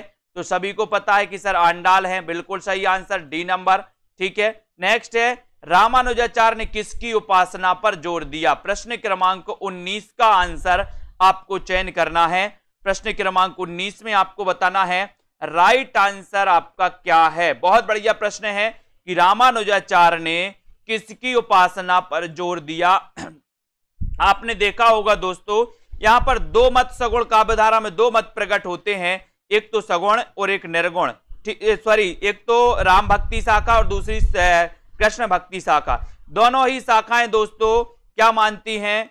विष्णु का अवतार मानती हैं। राम भक्ति शाखा राम को विष्णु का अवतार मानते हैं और कृष्ण भक्ति शाखा वाले कृष्ण को विष्णु का अवतार मानते हैं। ठीक है? तो रामानुजाचार्य ने किसकी उपासना पर ज़ोर दिया? तो उत्तर हो जाएगा विष्णु की, यानी कि आपका ए नंबर बिल्कुल सही है, ठीक है? अवधूत किसे कहते हैं? अवधूत किसे कहते प्रश्न क्रमांक 20 का आंसर बताना है। अवधूत किसे कहते अरुण राजपूत जी, प्रश्न क्रमांक 20 में राइट करना है। शेयर कर देना अपने मित्रों को मध्वाचार के अनुयायियों को निम्बार्क के बैरागियों को, रामानंद के बैरागियों को, या फिर चैतन्य के सन्यासियों को। यानी कि 20 नंबर है और 20 में आपको चयन करना है और आपका उत्तर है कि सर अब अवधूत पूछा है आपने तो ये कहा जाता है। किसे कहा जाता है? 20 में अनिल कुमार जी, बहुत बढ़िया आंसर। रामानंद के बैरागियों को, यानी आपका सी नंबर, बिल्कुल सही है। बहुत बढ़िया आंसर वेरी गुड अच्छे से आंसर बता रहे हैं आप लोग, मज़ा आ रहा है दोस्तों। रामानंद ने नारायण और लक्ष्मी के स्थान पर किसकी उपासना पर ज़ोर दिया? बताइए, रामानंद ने नारायण और लक्ष्मी के स्थान पर किसकी उपासना पर ज़ोर दिया? जब हम भक्ति काल पढ़ रहे हैं तो भक्ति काल में भक्ति ही होगी, ठीक है? प्रश्न क्रमांक ट्वेंटी वन है आपका। ट्वेंटी वन में आपको चयन करना है कि रामानंद ने नारायण और लक्ष्मी के स्थान पर किसकी उपासना पर ज़ोर दिया? प्रश्न क्रमांक आपका ट्वेंटी वन है और ट्वेंटी वन में आपका सीधा आंसर जा रहा है कि सर सीताराम की उपासना पर, यानी सी आपका सीताराम बिल्कुल सही है। सीताराम आपका राइट आंसर है। ठीक है? वेरी गुड योग साधना के प्रवर्तक तथा आदि गुरु कौन माने जाते हैं? आदि गुरु बताना है आपको। योग साधना के प्रवर्तक और आदि गुरु कौन माने जाते हैं? ये क्वेश्चन आपसे पूछा गया है। बहुत ही बढ़िया क्वेश्चन है। प्रश्न क्रमांक आपका दोस्तों 22 है। 22 को आपको चयन करना है लाइक करना है और आपका उत्तर हो जाएगा। कि सर योग साधना के आदि प्रवर्तक और आदि गुरु जो माने जाते हैं, वो कौन माने जाते हैं? कौन माने जाते हैं? जल्दी से बताएँ। आपका राइट आंसर जा रहा कि सर वो जान माने जाते हैं, स्यो। कौन माने जाते हैं? स्यो, यानी कि आपका डी नंबर जो है डी आप लोग लगा रहे हैं तो बिल्कुल सही है, पंकज कुमार जी। ठीक है? कौन माने जाते स्यो, आदि गुरु पूछा गया। प्रश्न को थोड़ा सा पढ़ना है आप लोगों को, नहीं तो इतना बस पढ़ लो। योग साधना के प्रवर्तक कौन है? योग साधना के प्रवर्तक तथा आदि गुरु पूछा है तो आदि गुरु स्यो माने जाते हैं। यानी कि बहुत सारे लोग कंफ्यूज ये नंबर में लगा दिया, आपको डी लगाना था, ठीक है? आपको अगर पूछा जाता दोस्तों, नाथ पंथ के प्रवर्तक कौन है? नाथ मत के प्रवर्तक कौन है? तो आप गोरखनाथ लगाते, लेकिन यहाँ पर आदि गुरु आपसे पूछा गया तो आपको शिव लगाना है है ना? आपको संत मत का महत्व इसलिए है क्योंकि वे मानते हैं। क्या मानते हैं? 23 का आंसर बताना है संत मत का महत्व तो इसलिए है क्योंकि वे मानते हैं भक्त जन्म मरण से मुक्त होते हैं। ईश्वर को मिलाने वाला गुरु है। भक्ति क्षेत्र में जाति पाति का भेद शास्त्रीय ज्ञान का महत्व तो, यानी कि प्रश्न आपका 23 है। 23 में आपको चयन करना है और आपका उत्तर हो जाएगा कि सर ईश्वर को मिलाने वाला गुरु है यानी बी नंबर आपका सही हो जाएगा। संत मत का महत्व इसलिए है क्योंकि वे मानते हैं कि ईश्वर को मिलाने वाला कौन है? गुरु है। यानी बी नंबर आपका राइट आंसर नीमा किस कवि की माता का नाम था? नीमा किस कवि की माता का नाम था? बहुत अच्छा क्वेश्चन है, सभी से बनेगा 24 में। लाइक करते चलें सभी साथी। और 24 का आंसर बताना है। इस क्लास को अटेंड करें रोज आप लोग। 24 में आपको चयन करना है। और 24 में आपका है कि सर कबीर दास की माता का नाम था नीमा, लेकिन प्रश्न यहीं तक नहीं रोका दोस्तों। आपको यह भी बताना कि कबीर दास का जन्म कब हुआ और कहाँ पर हुआ, मृत्यु कहाँ पर हुई, ये तीन क्वेश्चन और साथ में बताना है। उत्तर भारत में वैष्णव भक्ति के संस्थापक कौन है? उत्तर भारत में वैष्णव भक्ति के संस्थापक कौन है, ये आपको बताना है। विकल्प अनुसार आपको चयन करना है। प्रश्न क्रमांक 25 में संस्थापक पूछा गया, दोस्तों। तो संस्थापक में आप क्या उत्तर लगाओगे? उत्तर भारत में वैष्णव भक्ति के संस्थापक कौन है? आपको चयन करना है 25 में। और 25 में आपका बिल्कुल सही आंसर हो जाएगा रामानुज। कौन है? रामानुज, है ना? और रामानुज संस्थापक हैं। और दोस्तों, आपको पता है कि उत्तर भारत में राम भक्ति शाखा को जो फैलाने वाले थे प्रचार करने वाले थे वो कौन थे? रामानंद। यहाँ तो आपका उत्तर बी नंबर बिल्कुल सही हो जाएगा। नेक्स्ट है, निर्गुण भक्ति का आदि स्रोत क्या है? आदि स्रोत बताना है। आपने देखा था कि सर जो है, आपको पता था कि भक्ति काल दो काव्य धाराओं में बट गया था, सगुण और निर्गुण। निर्गुण भक्ति का आदि स्रोत क्या है? ये आपसे क्वेश्चन पूछा गया है। तो सभी लोग बताएँगे 26 में और 26 का आपका सीधा आंसर जा रहा है कि सर निर्गुण भक्ति का आदि स्रोत जो माना जाता है, वो माना जाता है स्वेता स्वेतर उपनिषद, यानी आपका जो डी है, वो बिल्कुल सही है। D number right answer very good smart संप्रदाय के प्रवर्तक संस्थापक कौन थे? क्वेश्चन पूछा गया, स्मार्ट, है ना? स्मार्ट स्मार्ट देखते ना कुछ लोग, यहाँ पर स्मार्ट दिया है। अब स्मार्ट को अपन स्मार्ट पढ़ लेंगे। अब स्मार्ट अगर आपको बनना है तो क्या करोगे? क्या करोगे बताइए? उदय यादव जी प्रश्न क्रमांक ट्वेंटी सेवन में स्मार्ट बनना है तो क्या करना है? बोले, सर, शंकर जी की पूजा करेंगे, वहाँ से आशीर्वाद आएगा तो हम स्मार्ट बन जाएँगे, बुद्धि मिल जाएगी। तो यहाँ पर शंकराचार्य, ये स्मार्ट संप्रदाय के क्या थे? संस्थापक थे। एक नंबर आपका सही है। यहाँ पर आपसे पूछा गया, दोस्तों, सुमिलित करना है कि शास्ता पूजक संप्रदाय कहाँ से संबंधित है? सहजिया संप्रदाय कहाँ से संबंधित है? पंचसका और बारकरी संप्रदाय कहाँ से संबंधित है? सूची एक को सूची दो से मिलान करना है और बहुत अच्छा क्वेश्चन आपसे पूछा गया है कि शास्ता पूजक संप्रदाय शास्ता शास्ता से बनेगा सस्ता। सस्ता से क्या बनेगा? बोले, सस्ता है करेला। करेला क्या है? सस्ता है। तो करेला से सस्ता हो जाएगा सास्ता पूजक संप्रदाय केरल। ठीक है? सहजिया संप्रदाय आपसे पूछा गया तो सहजिया याद रखते ना बोले, सर, बंगला सहज में नहीं मिलता कि मिल जाता है? कि बोले बोले, आपका सपना क्या है? बोले हाँ एक गाड़ी होना चाहिए, एक बंगला होना चाहिए, मोटर कार होना चाहिए, है ना? तो बोले, बंगला सहज में नहीं मिलता। तो याद रख लेना सहजिया संप्रदाय कहाँ से संबंधित है? तो आपका उत्तर हो जाएगा, उत्तर हो जाएगा दोस्तों, बंगाल से, ठीक है?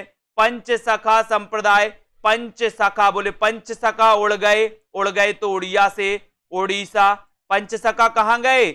उड़ गए। जब आप पर विपत्ति आती है, जब आपके पाँच सखा होते हैं, जब आप विपत्ति में होते हो तो पाँच सखा उड़ जाते हैं, गायब हो जाते हैं। ठीक है? बारकरी संप्रदाय, ये बारकरी संप्रदाय महाराष्ट्र, बोले, महाराष्ट्र बार करता है। ठीक है? तो इसको याद रख लेना, शास्ता पूजक संप्रदाय केरल से, सहजिया संप्रदाय बंगाल से पंचसका उड़ गए तो उड़िया से, उड़ीसा से, बारकरी संप्रदाय महाराष्ट्र से। इनको याद कर लेना। निर्गुण काव्य धारा को ज्ञानाश्रय और प्रेमाश्रय दो भागों में विभाजित करने वाले विद्वान कौन है? ज्ञानाश्रय और प्रेमाश्रय। बताइए 29 का आंसर बताना है। 29 में आपका राइट आंसर क्या हो जाएगा? लाइक करते हुए अपने मित्रों तक शेयर करिए। और दोस्तों बने रहिए, ऐसी ही अनेकों ट्रिक आपको मैं बताऊँगा। निर्गुण काव्य धारा को ज्ञानाश्रय और प्रेमाश्रय दो भागों में विभाजित करने वाले जो विद्वान हैं, वो विद्वान कौन है? बताएँ, बहुत अच्छा क्वेश्चन है। ज्ञानाश्रय मैंने आपको बढ़ाया है कई बार। 29 का आंसर बताना है। और आपको पता है कि सर, ये निर्गुण काव्य धारा को जो ज्ञानाश्रय शाखा और प्रेमाश्रय शाखा में बांटा है, वो बांटा है किसने? रामचंद्र शुक्ल ने। डी नंबर आपका बिल्कुल सही है। ठीक है? अब आपको यहाँ पर बताना कि साधना के क्षेत्र में जो ब्रह्मा है, साहित्य के क्षेत्र में वही रहस्यवाद है। ये बताना है कि ये किसने कहा? प्रश्न अच्छे से पढ़ लो। साधना के क्षेत्र में जो ब्रह्मा है, साहित्य के क्षेत्र में वही रहस्यवाद है। ये कथन किसका है? ये कथन आपको बताना ये चार विकल्प हैं आपके, है ना? आपको चयन करना है। कथन किसका है? आचार्य शुक्ल का, आचार्य हजारी प्रसाद द्विवेदी का कुरेसी जी, महापंडित राहुल सांकृत्य इनका या फिर पदम लाल पुन्ना लाल बक्सी का। और आपको पता है कि ये आपका उत्तर हो जाएगा कि सर ये कथन है अपने रामचंद्र शुक्ल का। ये नंबर आपका बिल्कुल सही है। ये नंबर राइट आंसर विष्णु का सर्वप्रथम उल्लेख कहाँ मिलता है? बहुत बढ़िया प्रश्न है। विष्णु का सबसे पहले उल्लेख कहाँ मिलता है? और कृष्ण का भी बता देना, कृष्ण का सबसे पहले उल्लेख कहाँ मिलता है? वो भी आपको बताना है। प्रश्न क्रमांक थर्टी वन है। अच्छा क्वेश्चन आया है। यजुर्वेद में अथर्वेद में, ऋग्वेद में, या फिर साम वेद में? थर्टी वन का आंसर और आपका सीधा आंसर कहाँ जा रहा है? देखते हैं कौन कौन सफल होता है इस प्रश्न को बताने में। और विष्णु का सबसे पहले जो उल्लेख मिलता है दोस्तों, वो उल्लेख मिलता है ऋग्वेद में। लेकिन क्वेश्चन यहीं तक सीमित नहीं है। कृष्ण का सबसे पहले उल्लेख कहाँ मिलता है, ये भी आपको बताना है। तो जल्दी बताओ, वैष्णव धर्म के संस्थापकों में नहीं है तो कौन नहीं है? वैष्णव धर्म के संस्थापकों में कौन नहीं है? प्रश्न क्रमांक थर्टी टू का आंसर बताना है। वैष्णव संप्रदाय, आपको यहाँ पर प्रश्न क्रमांक 32 का आंसर बताना है और 32 में आपका राइट आंसर दोस्तों, आपको पता है वैष्णव धर्म के संस्थापकों में रामानुजाचार्य हैं, है ना? इन्होंने स्त्री संप्रदाय की स्थापना की थी विशिष्ट द्वैतवाद की प्रवर्तक माने जाते हैं। मध्वाचार्य की बात करें तो ये द्वैतवाद के दोस्तों प्रवर्तक माने जाते हैं।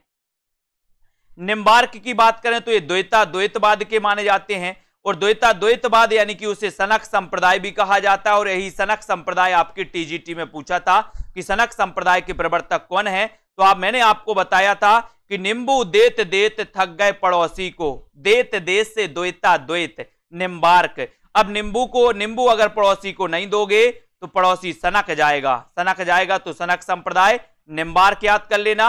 भक्ति आंदोलन का सूत्रपात उत्तर भारत में ना होकर दक्षिण भारत में हुआ था। इसके मूल कारण में कौन सा कथन सत्य है? बताइए। प्रश्न क्रमांक 33 है। अच्छा क्वेश्चन है। सभी लोग बताएँगे। फ्रीडम जी, बताइए 33 का आंसर। लाइक कर दीजिए अपने मित्रों तक और शेयर ज़रूर कर दें। और नीचे लिंक दी है हिंदी साहित्य के ऐप की तो ऐप डाउनलोड कर लें। 33 का आंसर आपको चयन करना है और आपका उत्तर जा रहा है कि सर यहाँ पर दक्षिण भारत पूर्णतः क्या था? निरापद था। निरापद था तो एक नंबर आपका सही हो जाएगा। ये नंबर आपका राइट आंसर है। बहुत बढ़िया आंसर, ठीक है? वेरी गुड आंसर ये कथन सत्य है। एक नंबर आपका वेरी गुड अद्वैत दर्शन या अद्वैतवाद के प्रवर्तक कौन है? प्रश्न क्रमांक थर्टी फोर अद्वैतवाद के प्रवर्तक कौन माने जाते हैं?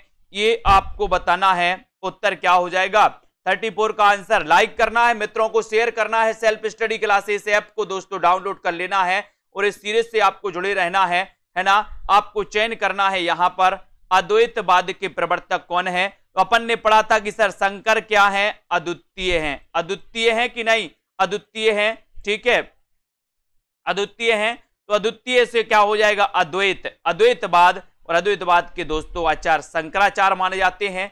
यानी कि आपका यहाँ पर डी नंबर अद्वैतवाद का पूछा है। अद्वैतवाद के शंकराचार अद्वैतवाद के शंकराचार। बहुत बढ़िया। सूची एक से सूची दो को मिलान करिए। यहाँ पर आपसे दिया है शुद्धा द्वैतवाद के प्रवर्तक कौन है? ये आपको बताना। अद्वैतवाद के कौन है? विशिष्टाद्वैतवाद के कौन? द्वैतवाद के कौन? है क्वेश्चन पूछा ही जाता है। तो आपको पता होगा कि शुद्धाद्वैतवाद के बल्लभाचार बिल्कुल सही है। अद्वैतवाद के शंकराचार्य ये भी बिल्कुल सही है। विशिष्टाद्वैतवाद के रामानुजाचार ये भी सही है। और द्वैतवाद के मधवाचार बिल्कुल सही सही दिया है बोले सर। शुद्धा द्वैतवाद शुद्ध बल बल से बल्लभाचार। अद्वैत अद्वितीय कौन है? शंकर तो शंकराचार। विशिष्ट कौन है? राम तो रामानुजाचार। द्वैतवाद मधवाचार ठीक है? यहाँ से क्वेश्चन आता है। अद्वैतवाद के प्रवर्तक आचार्य शंकर को कुछ पुराण पंथियों ने प्रचन्न बोध कहा था। क्योंकि क्यों कहा था? 36 का आंसर बताइए। उत्तर क्या हो जाएगा उसमें? सभी लोग बताएँगे। प्रश्न क्रमांक 36 का आंसर।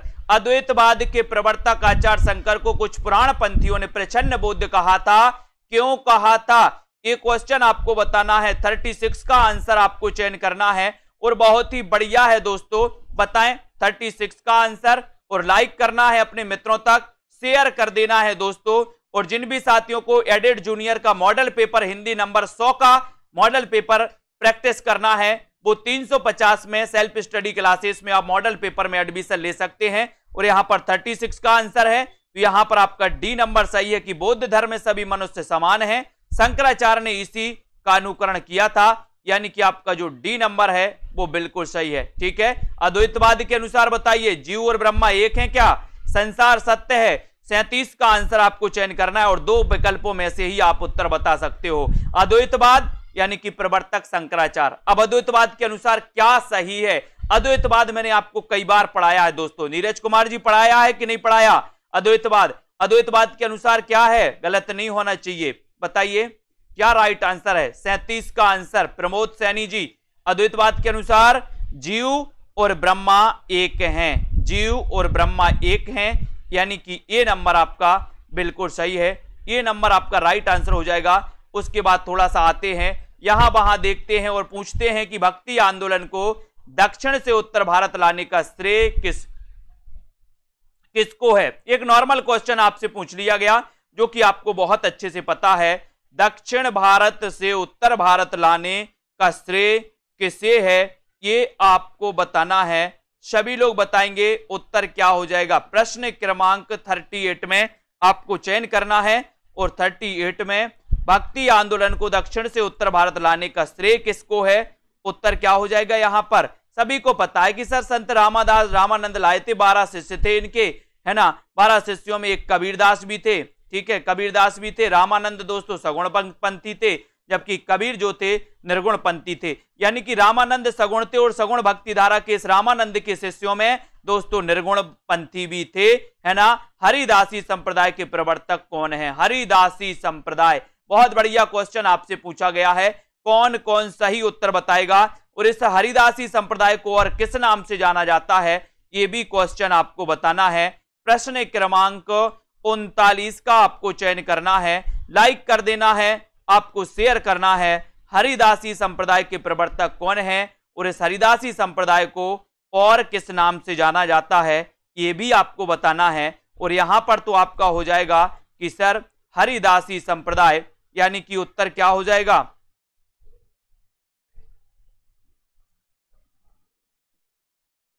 सभी लोग बताएँगे।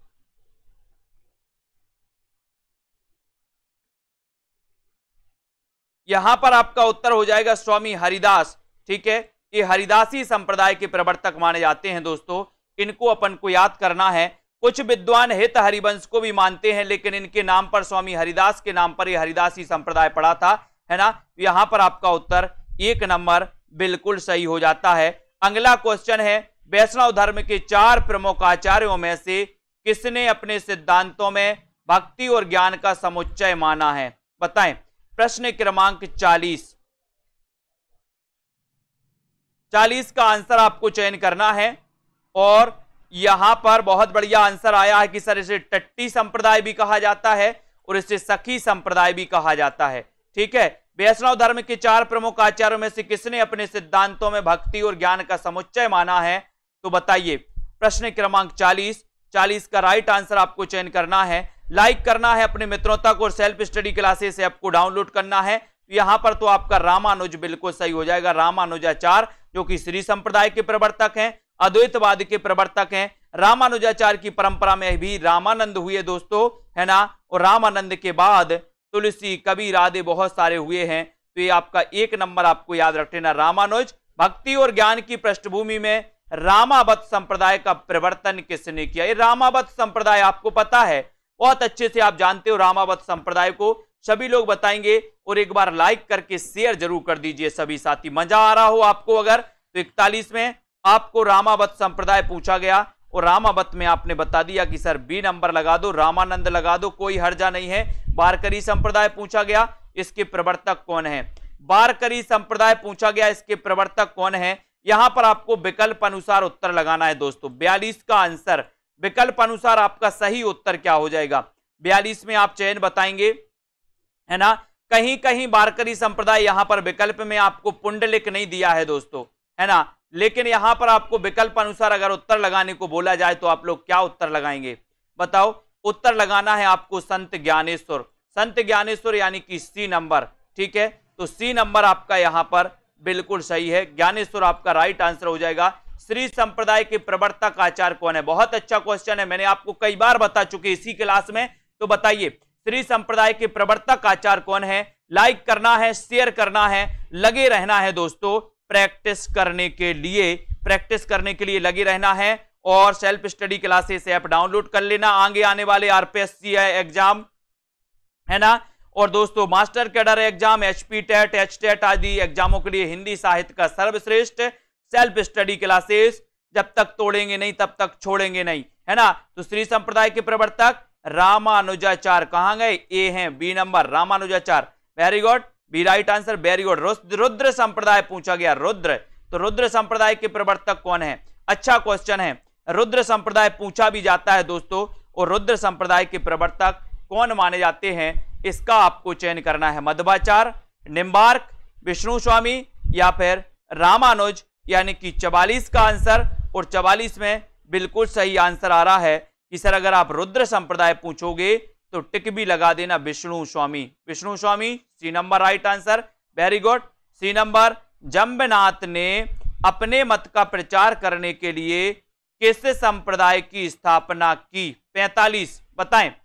जम्बनाथ ने अपने मत का प्रचार करने के लिए किस संप्रदाय की स्थापना की? ये पैंतालीसवा प्रश्न है। लाइक कर देना है एक बार और 45 में आपको चयन करना है और सीधा आंसर जा रहा है कि सर, विश्व में जंभ जाओ। विश्वनोई संप्रदाय। विश्वनोई संप्रदाय के प्रवर्तक कौन है? जंभनाथ। विश्व में विश्व में जंभ जाओ। जंभ जाओ तो जंभ से जंभनाथ और विष्णोई से डी नंबर। इनको याद करोगे। अनंतानंद कबीर सुखा सुरसुरा पद्मावती, नरहरी, पीपा, भावानंद, रैदास, धन्ना सेन, सुरसरी और घर हरी है ना? ये रामानंद के शिष्यों की यह सूची किस काव्य ग्रंथ में है? ये सूची किस काव्य ग्रंथ में है? बताइए। अनंतानंद कबीर, सुखा सुरसरा। अलग अलग प्रकार से रामानंद के शिष्यों का वर्णन किया है। राम कुमार वर्मा कुछ अलग मानते हैं, भक्तमाल में कुछ अलग दिया है। यहाँ पर आपका छियालीस का आंसर आपसे पूछा गया है। छियालीस में आपका राइट आंसर बताना है। और उत्तर आपका क्या हो जाएगा? उत्तर हो जाएगा भक्तमाल। भक्तमाल पूछा वेरी गुड भक्तमाल में ये दोस्तों अनंतानंद कबीर, सुखा, सुरसुरा, पद्मावती, इनका वर्णन है। लेकिन भक्तमाल का रचना काल क्या है और रचनाकार कौन है, ये भी आपको बताना है। जल्दी बताओ, कबीर की वाणी का संग्रह बीजक कहलाता है, इसके कितने भाग हैं? बीजक के कितने भाग हैं? बताइए, बीजक के कितने भाग हैं? सैतालीस का आंसर। बीजक के कितने भाग हैं? दो, तीन, चार या फिर पाँच? यानी कि सैतालीस नंबर में आपको चयन करना है और सीधा आंसर चला गया कि सर बीजक में जो भाग हैं, वो भाग हैं कितने? तीन। यानी बी नंबर आपका बिल्कुल सही है। ठीक है? बीजक में भाग तीन हैं। कौन कौन से हैं? वो भी आपको बताना। दोस्तों, यहाँ पर आपका उत्तर है कि भक्ति काल की समय सीमा क्या है? भक्ति काल की समय सीमा आपको बताना है, संबत में दिया है तो संबत में आपको चयन करना है। साकी सबद रमैनी वेरी गुड आंसर, बहुत बढ़िया आंसर सभी लोग बताएँगे। राइट आंसर 48 में आपको चयन करना है। भक्ति काल की समय सीमा क्या है? 48 में 48 में बताइए। राइट आंसर, और सभी को पता है कि सर संबत 1375 से लेकर के 1700 का जो काल है ये माना जाता है भक्ति काल, ठीक है? वेरी गुड आंसर के बाद 207 का आंसर आपको बताना बताइए, वाल्मीकि रामायण का भाषा अनुवाद किसने किया? यानी कि दोस्तों 207 का उत्तर आपको बताना है। और आपको पता है कि सर, आपका सही आंसर हो जाएगा विष्णु दास, यानी बी नंबर ठीक है? वाल्मीकि रामायण का भाषा अनुवाद किसने किया है? विष्णु दास ने। बी नंबर आपका राइट आंसर है, ठीक है? तुलसीदास को कलिकाल का वाल्मीकि किसने कहा? तुलसीदास को कलिकाल का वाल्मीकि किसने कहा है? मैक्स मुलर ने, नाभा दास ने, ग्रियर्सन या फिर आचार्य शुक्ल ने? प्रश्न क्रमांक 200 एक क्वेश्चन तो बहुत ही इंपॉर्टेंट है। तुलसीदास को कलिकाल का वाल्मीकि किसने कहा है? ये क्वेश्चन आपसे पूछा गया और आपका सीधा सीधा आंसर क्या जा रहा है? बताएँ जल्दी से।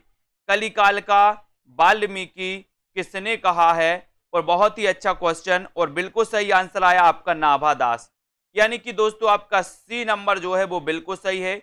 नाभा दास की आपने एक रचना पढ़ी है भक्तमाल 1585 की ये रचना है दोस्तों भक्तमाल और भक्तों का माल कहाँ रखा है? नभ में। तो ये नाभादास की रच नाभादास याद हो जाएगा। नाभादास के गुरु का नाम था अग्रदास।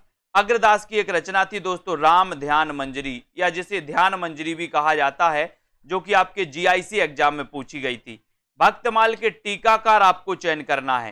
प्रश्न क्रमांक 209 का आंसर भक्तमाल के टी कभी कभी ऐसा होता है कि भक्तमाल के टीकाकार पूछा जाता है और लोग नाभादास देखो, बहुत सारे लोगों ने, रेखा त्रिपाठी जी ने सी लगा दिया। बहुत बढ़िया। और कौन लगा रहा है सी ज्ञानेश जी ने भी सी लगा दिया, अनीता रानी ने भी सी लगा दिया, संध्या जी ने भी सी लगा दिया। बहुत बढ़िया बहुत बढ़िया, धन्यवाद। यहाँ टीकाकार पूछा है और आपने नाभादास लगा दिया। गलत बात गलत बात। भक्तमाल के टीकाकार पूछा, टीकाकार प्रियादास थे। भक्तमाल के टीकाकार कौन थे? प्रियादास भक्तमाल के रचनाकार कौन थे? तो नाभादास भक्तमाल के, अगर अकेला भक्तमाल पूछा जाता तो आपका नाभादास होता, लेकिन भक्तमाल के टीकाकार पूछा तो आपका प्रियादास लगाना है ना कि नाभादास ठीक है? गोस्वामी तुलसीदास के गुरु का नाम बताइए प्रश्न क्रमांक 210 में। गोस्वामी तुलसीदास के गुरु का नाम क्या था?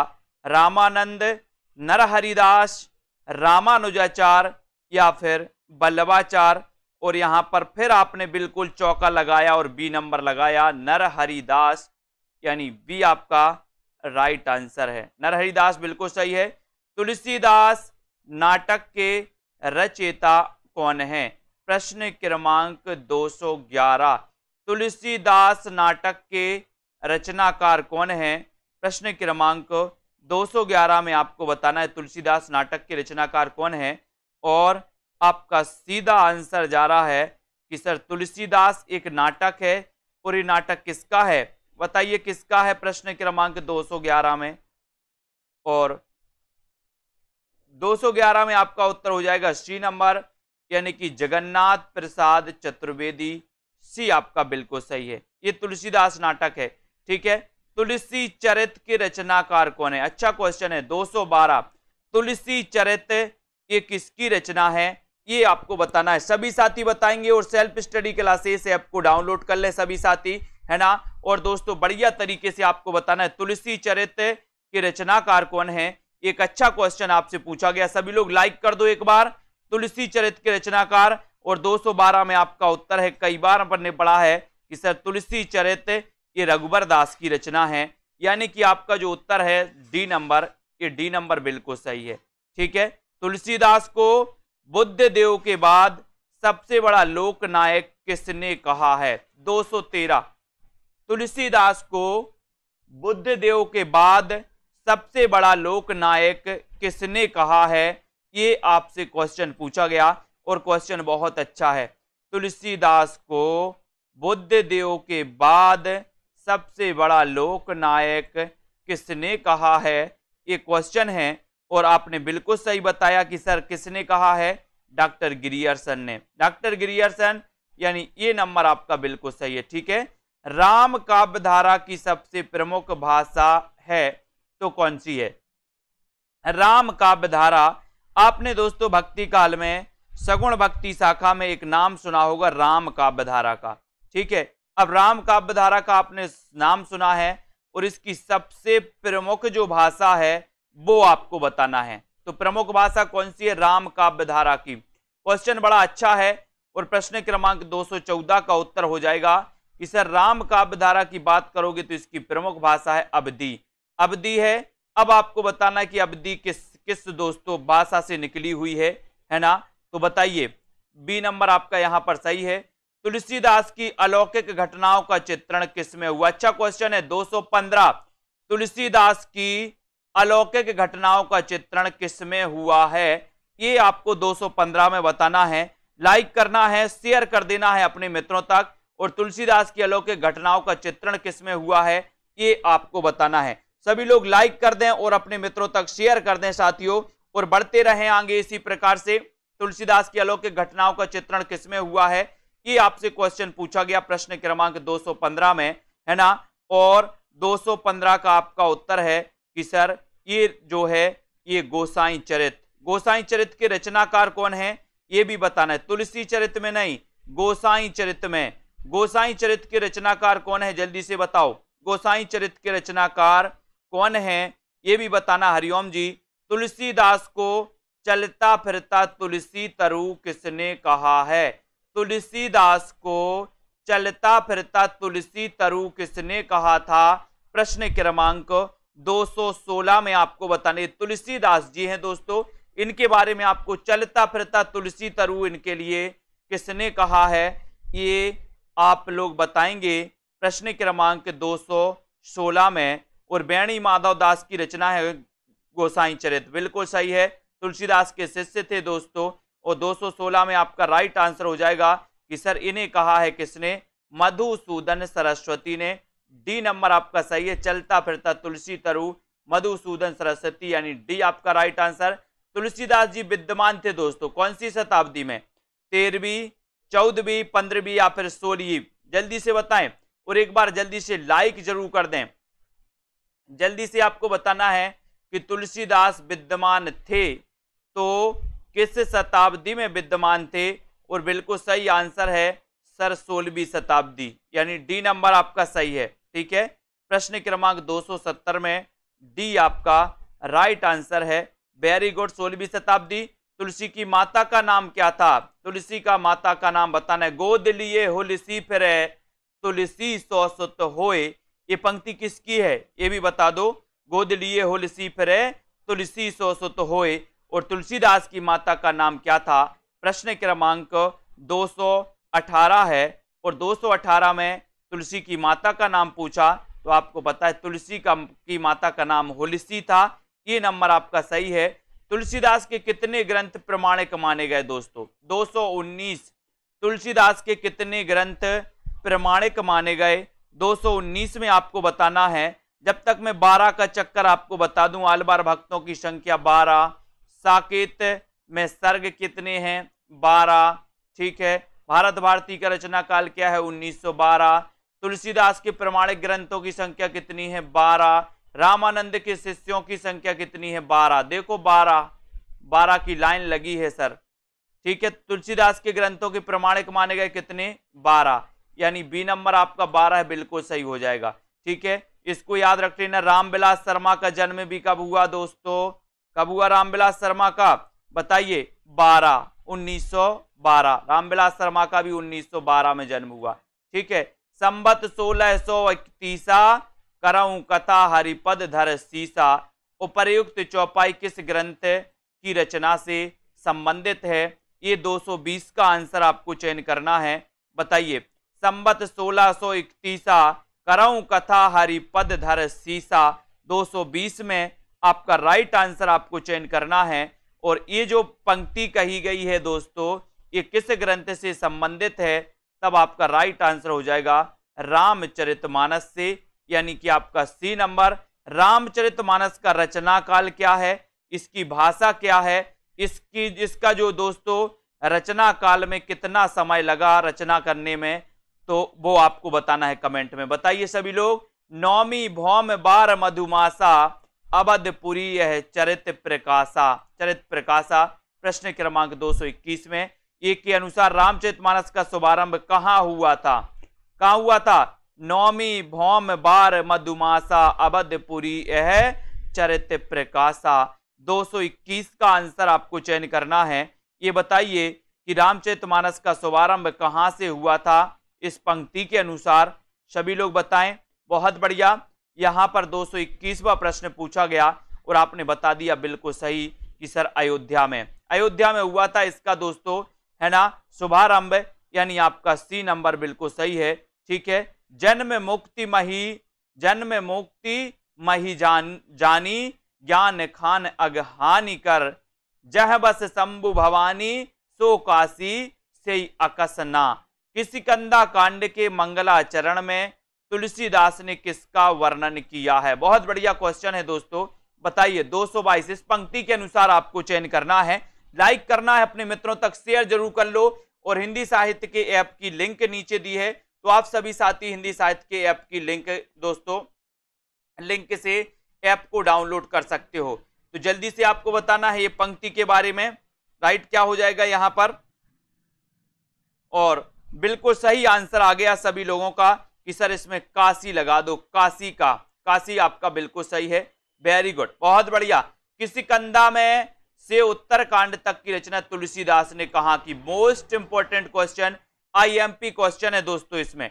किसी कंदा कांड से उत्तर कांड तक की रचना तुलसीदास ने कहा की थी? कहा की थी? अयोध्या में, काशी में, प्रयाग में या फिर चित्रकूट में? यानी कि 223 का आंसर आपको बताना है। कि स्कंदा कांड से उत्तर कांड तक की रचना तुलसीदास ने कहाँ पर की थी? ये आपको बताना है। कुरेसी जी, बहुत बढ़िया। 223 का आंसर और वो की थी दोस्तों इन्होंने कहा पर काशी में, किसकंदा कांड से उत्तर कांड तक की। काशी यानी बी नंबर, ठीक है? तुलसीदास ने रामचरित मानस की रचना आरंभ की थी। कब की थी आरंभ? बताइए। 224 का आंसर बताना है। इन्होंने रामचरितमानस की रचना कब आरंभ की थी? 224 का आंसर। बहुत ही अच्छा क्वेश्चन आपसे पूछा गया है दोस्तों। आपको लाइक करना है, मित्रों तक शेयर करना है और तुलसीदास की जो रामचरितमानस है, महाकाव्य है, सात कांड है दोस्तों। अवधि भाषा में लिखा गया महाकाव्य है और ये जो इसकी आरंभ हुई थी, रचना आरंभ हुई थी पंद्रह ईस्वी, यानी कि आपका उत्तर डी नंबर जो है, वो बिल्कुल सही है। भक्ति काल के किस कवि ने अपनी हिंदी की रचनाओं में संस्कृत की सभी शास्त्रीय परंपराओं का निर्वहन किया है? यानी कि 225 का आंसर बताना, भक्ति काल के किस कवि ने अपनी हिंदी की रचनाओं में संस्कृत की सभी शास्त्रीय परंपराओं का निर्वहन किया है तो बताइए किसमें किया? तुलसीदास में सूरदास में, कबीरदास में, या फिर दोस्तों जायसी? अब किस कवि ने अपनी हिंदी की रचनाओं में संस्कृत की सभी शास्त्रीय परंपराओं का निर्वहन किया? ये क्वेश्चन आया हुआ है और आपका उत्तर हो जाएगा तुलसीदास ने। यानी ये नंबर आपका बिल्कुल सही है। कृष्ण गीतावली काव्य कृति के रचनाकार कौन है? कृष्ण गीतावली के रचनाकार कौन है? क्वेश्चन बहुत अच्छा है। वीडियो को लाइक ज़रूर करना है और 226 में से आपका उत्तर बताना है। और कृष्ण गीतावली, जो कि दोस्तों ब्रज भाषा में लिखी गई, कौन सी भाषा में लिखी गई? ब्रज भाषा। आपको पता है कि तुलसीदास ने ब्रज का भी दोस्तों ब्रज में भी रचनाएँ की और अवधि में भी की। अवधि की अपन ने याद किया था कि जब तुलसीदास की जिन बारह प्रमाणिक रचनाओं में से जिनमें अवधि और मंगल आए, वो सॉरी जिसमें राम और मंगल आए, वो अवधि में, और जिसमें राम और मंगल ना आए, वो ब्रजभाषा में। जैसे रामज्ञा, प्रश्नावली रामचरितमानस है ना, ये सब अवधि में है, और कृष्ण गीतावली में राम आ ही नहीं रहा कहीं, मंगल भी नहीं आ रहा तो ये कृष्ण गीतावली ब्रज में है, और इसके रचनाकार कौन है? तुलसीदास हैं, ठीक है? विनय पत्रिका का एक अन्य नाम क्या है? ये बताना 227 में। विनय पत्रिका का एक अन्य नाम, विनय पत्रिका की भाषा पूछी जाती है, जो कि नीचे क्वेश्चन है 228 बा है ना? विनय पत्रिका का एक अन्य नाम क्या है? ये आपको बताना है। तो बहुत अच्छा क्वेश्चन आपसे पूछा गया 227 में। सभी लोग एक बार शेयर कर दो अपने मित्रों तक, और आपका उत्तर हो जाएगा इसका राम बिनयावली यानी कि सी नंबर विनय पत्रिका का एक अन्य नाम माना जाता है, विश्वास मलिक जी, राम बिनयावली और ये राम बिनयावली या विनय पत्रिका की जो भाषा है, वो भाषा तो आप सभी को पता है कि सर ब्रज भाषा है। ठीक है, ब्रज भाषा डी नंबर विनय पत्रिका की रचना किस रूप में है? खंड काव्य है ये, गीति काव्य है, प्रबंध काव्य है, या फिर गद्य काव्य है? यानी कि दो सौ उनतीस का आंसर आपको चयन करना है। दो सौ उनतीस में विनय पत्रिका की रचना किस रूप में है? ये क्वेश्चन आपसे पूछा गया। और वो रूप बताना है दोस्तों कौन सी? विनय पत्रिका की रचना जो है ये गीति काव्य। क्या में है? गीति काव्य में है यानी कि आपका बी नंबर जो है बी नंबर उनतीस का बिल्कुल सही है।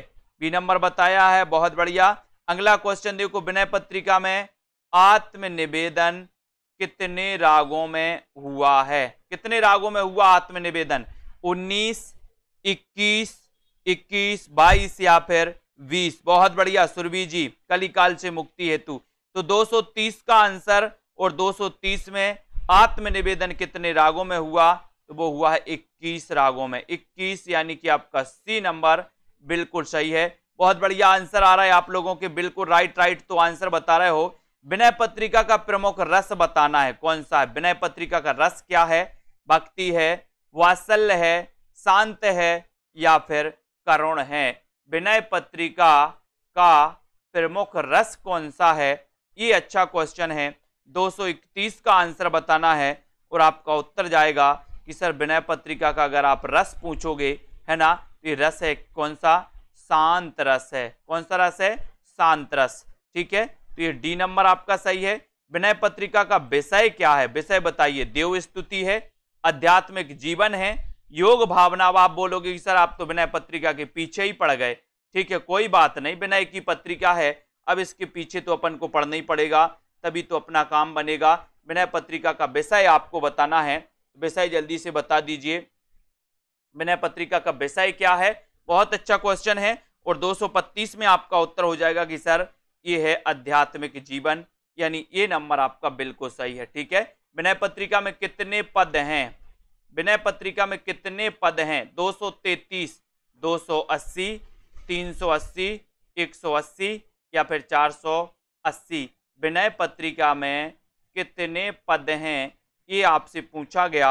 233 में आंसर पूछा गया और आपने बता दिया कि सर ये जो विनय पत्रिका है, इसमें पदों की संख्या कितनी है? कितनी है अन्नू त्रिपाठी जी? कितनी है? 280 यानी ये नंबर आपका 280 बिल्कुल सही है। 280 राइट आंसर तुलसीदास की प्रथम रचना कौन सी है? 234 प्रथम रचना कौन सी है? ये क्वेश्चन दोस्तों अपन को विकल्प अनुसार लगाना है। तो बताइए 234 में आपका राइट आंसर कौन सा हो जाएगा यहाँ पर? बताइए। तो यहाँ पर जो विकल्प अनुसार दोस्तों अलग अलग विद्वानों ने अलग अलग मानी है इनका राइट आंसर गीतावली हो जाएगा विकल्प अनुसार वैसे अलग अलग विद्वानों किसी ने बैराग्य संदीपनी को माना है है ना? तो यहाँ पर आपको बी लगाना है, ठीक है? तुलसीदास की काव्य कला की सबसे मधुरतम अभिव्यक्ति क्या है? तुलसीदास की काव्य कला की सबसे मधुरतम अभिव्यक्ति आपको बताना क्या है? कवितावली है, दोहावली, गीतावली या फिर जानकी मंगल?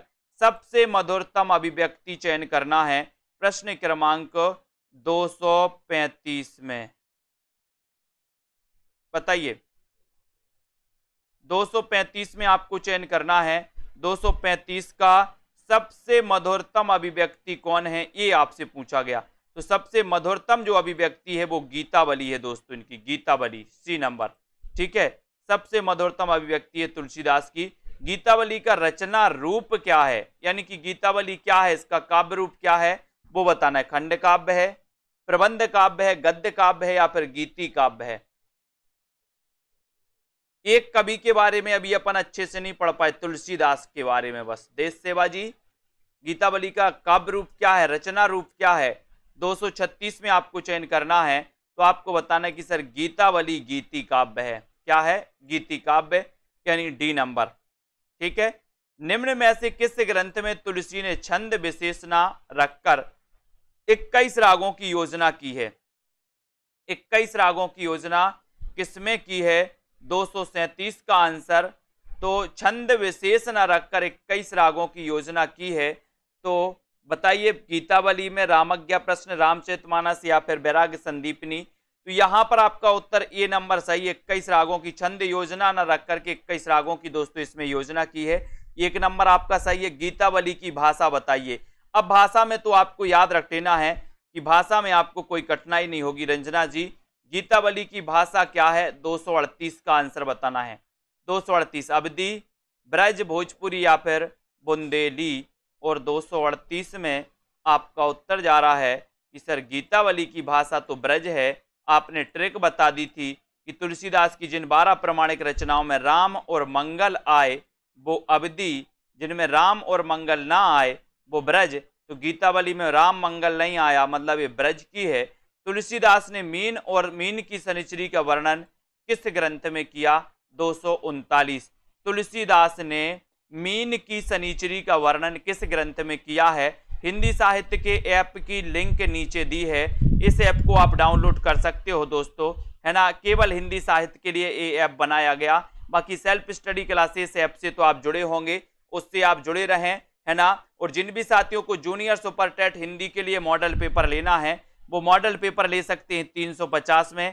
क्रश कोर्स लेना है वो ले सकते हैं पाँच सौ निन्यानवे में, ठीक है? तो तुलसीदास ने मीन की सनीचरी का वर्णन किस ग्रंथ में किया? दो सौ उनतालीस का आंसर है और दो सौ उनतालीस में आपका उत्तर हो जाएगा कवितावली में। एक क्वेश्चन याद रख लेना, मीन की सनीचरी का वर्णन किया है कवितावली में। बहुत ही आईएमपी क्वेश्चन है है ना? तुलसीदास ने मीन की सनीचरी का वर्णन सनीचरी यानी सनीचर शनिचर आता ना एक दिन, बोले शनिचर को हम कविता कविता गाते हैं, कविता। तो शनिचर याद रखते ना कवितावली कवितावली में कितनी कविताएँ हैं? बताओ, कवितावली में कितनी कविताएँ हैं? 240 का आंसर और 240 में आपका उत्तर जा रहा है कि सर कवितावली की बात करो तो कवितावली में कितनी कविताएँ हैं? ये पूछा गया है और आपका सीधा आंसर जा रहा है कि ये जो है ये हैं 325 कितनी है कविता कवितावली में कविताएँ? 325 कविताएँ हैं। ठीक है? बहुत बढ़िया आंसर। अब यहाँ पर आ जाते हैं कविता कवितावली को कवित्त रामायण भी कहा जाता है। क्योंकि क्यों कहा जाता है इसे कवित्त रामायण? बताइए। इसे कवित्त रामायण क्यों कहा जाता है कविता कवितावली को? 241 का आंसर बताना है। लाइक करना है, मित्रों तक शेयर करना है वीडियो को दोस्तों। ठीक है? कविता कवितावली को कवित्त रामायण भी कहा जाता है। क्योंकि इसमें राम कथा सात कांडों में वर्णित है। इसमें राम और सीता की वंदना माधुर भाव से की गई है।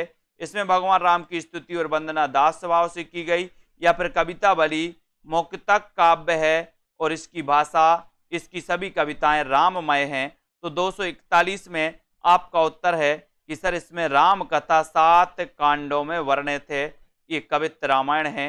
ये नंबर आपका यहाँ पर सही हो जाएगा। एक नंबर आपका राइट आंसर है। कवितावली में कितने प्रकार के छंदों का प्रयोग हुआ है? बहुत अच्छा क्वेश्चन है 242 में। 242 का बताइए।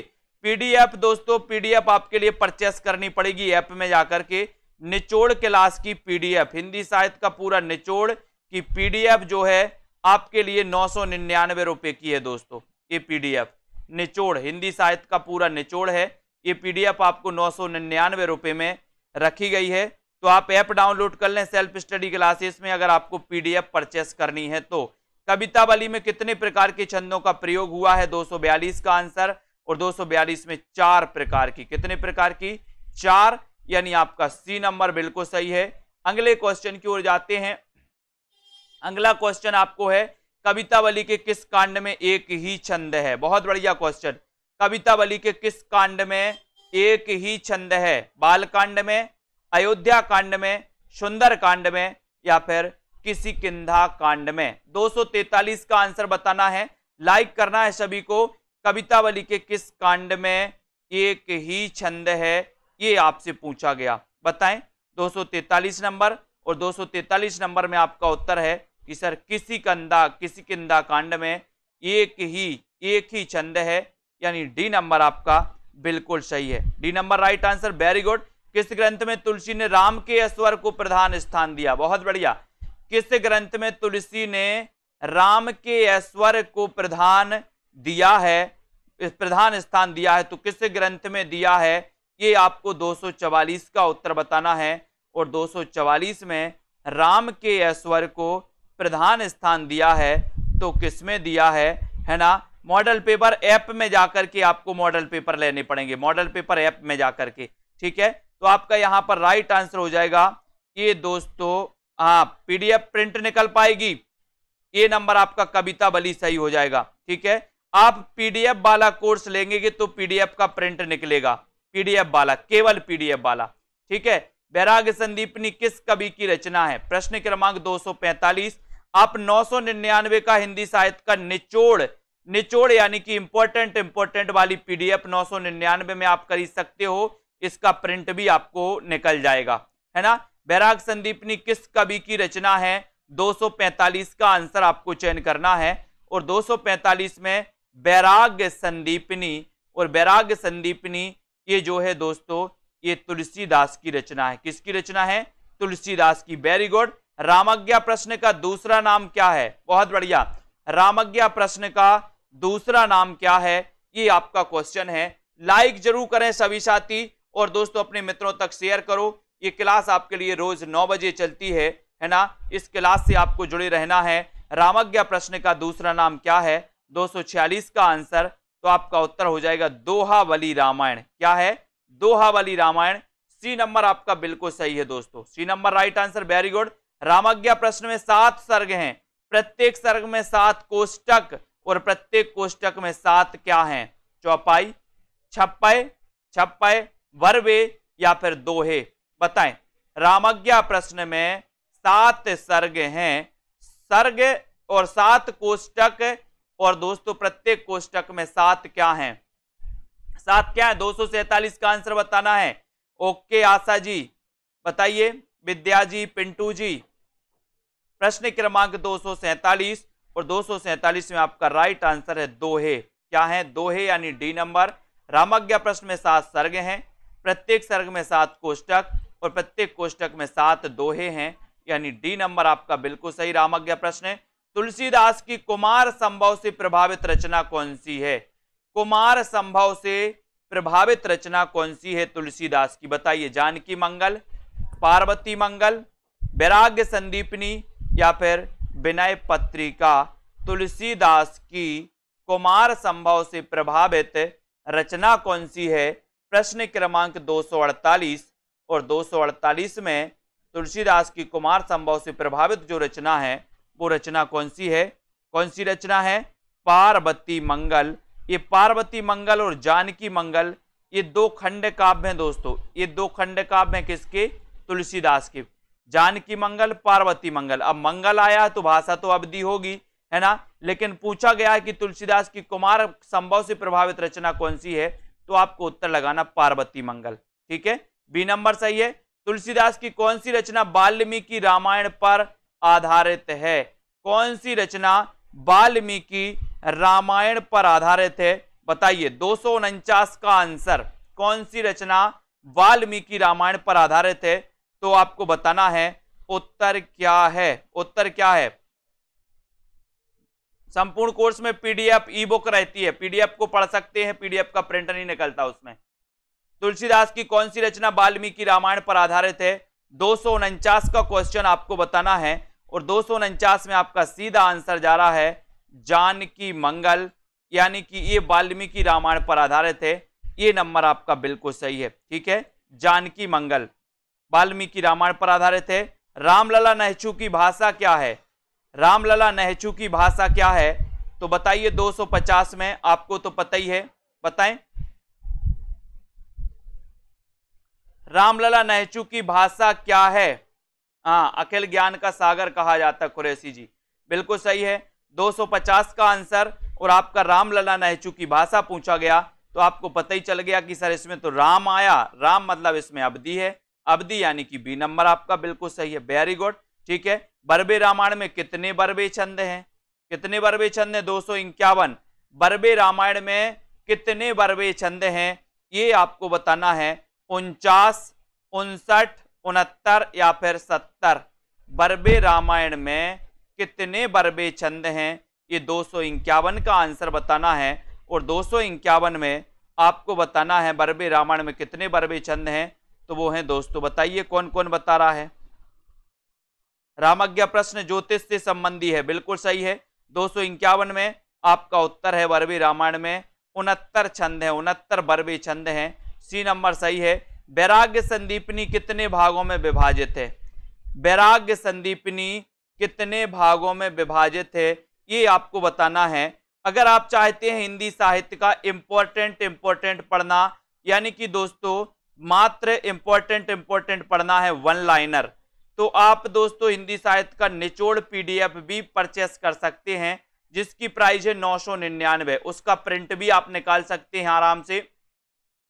बैराग संदीपनी कितने भागों में विभाजित है, ये दो सौ बावन का प्रश्न आपसे पूछा गया और आपका उत्तर है कि सर ये चार भागों में है। बैराग संदीपनी कितने भागों में? चार भागों में। चार भागों में C number, very good. Bairag Sandipani में प्रयुक्त छंद कौन से हैं दोस्तों, बताइए? दोहा, सोरठा, चौपाई वैराग्य संदीपनी में प्रयुक्त छंद कौन सा है? दो का आंसर। दो का आंसर बताइए। श्याम पंडित जी, प्रश्न क्रमांक दो में और दो का आपका राइट आंसर है। ए नंबर दोहा, सोरठा और चौपाई। एक नंबर आपका बिल्कुल सही है। ये आपका राइट आंसर हो जाएगा। ठीक है? वैराग्य संदीपनी में प्रयुक्त छंद है। रामचरितमानस की रचना पद्धति है। तो क्या है रामचरितमानस की रचना पद्धति? रचना पद्धति कौन सी है? दो सौ चौवन। रामचरितमानस की रचना पद्धति गीत गीत पद्धति है, दोहा चौपाई पद्धति है, छप्पय पद्धति है, या फिर कवित्य सबैया पद्धति है। यानी कि दो सौ चौवन में आपका सही आंसर है, इस रामचरितमानस में दोहा चौपाई पद्धति है। बी नंबर आपका बिल्कुल सही है।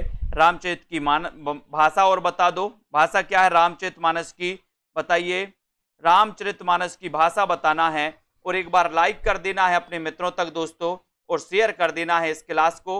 रामचरितमानस की भाषा बताना है। इतना अच्छा क्वेश्चन आपसे पूछा गया है। नीचे लिंक दी है दोस्तों हिंदी साहित्य के ऐप की तो ऐप को डाउनलोड कर सकते हो। Self study classes app download करके हिंदी साहित्य के मॉडल पेपर प्राप्त कर सकते हो। ठीक है? रामचरितमानस की अगर बात करें 255 की तो 255 में आपका उत्तर है सी यानी कि अवधि। सी नंबर यानी कि अवधि आपका राइट आंसर हो जाएगा। वेरी गुड अब यहाँ पर आते हैं, थोड़ा सा इसको देखते हैं। रामचरितमानस को पूरा करने में तुलसीदास को कितना समय लगा? बहुत अच्छा क्वेश्चन है। रामचरितमानस को पूरा करने में तुलसीदास को कितना समय लगा? एक वर्ष सात माह है, एक वर्ष ग्यारह माह है, तीन वर्ष सात माह है, या फिर दो वर्ष सात माह है। बताइए रामचरितमानस को पूरा करने में कितना समय लग गया? दो सौ छप्पन का आंसर आपको चयन करना है और लगभग सभी को पूरा पूरा उत्तर बता दीजिए। अब यहाँ पे तो सिर्फ़ माह दिया है, लेकिन आपको पता है कितने लग गया? दो वर्ष, सात माह है, यानी कि आपका डी नंबर सही है और 26 दिन, ठीक है? तो ये आपका डी बिल्कुल सही है। दो सात छब्बीस, दो सात छब्बीस वेरी गुड रामचरित मानस से किस संवाद का संबंध नहीं है? किस संवाद का संबंध नहीं है? दो में और दो में आपका सही आंसर यहाँ पर क्या हो जाता है? क्वेश्चन पूछा जाता है। रामचरितमानस से किस संवाद का संबंध नहीं है? ये पूछा जाता है। सभी लोग बताएँगे और आपका सीधा आंसर जा रहा है कि सर राम सीता संवाद का संबंध नहीं है। एक नंबर आपका सही है। ठीक है? रामचरितमानस में कितने कांड हैं? कांड बताइए और कांडों को क्रमबद्ध भी लिखिए।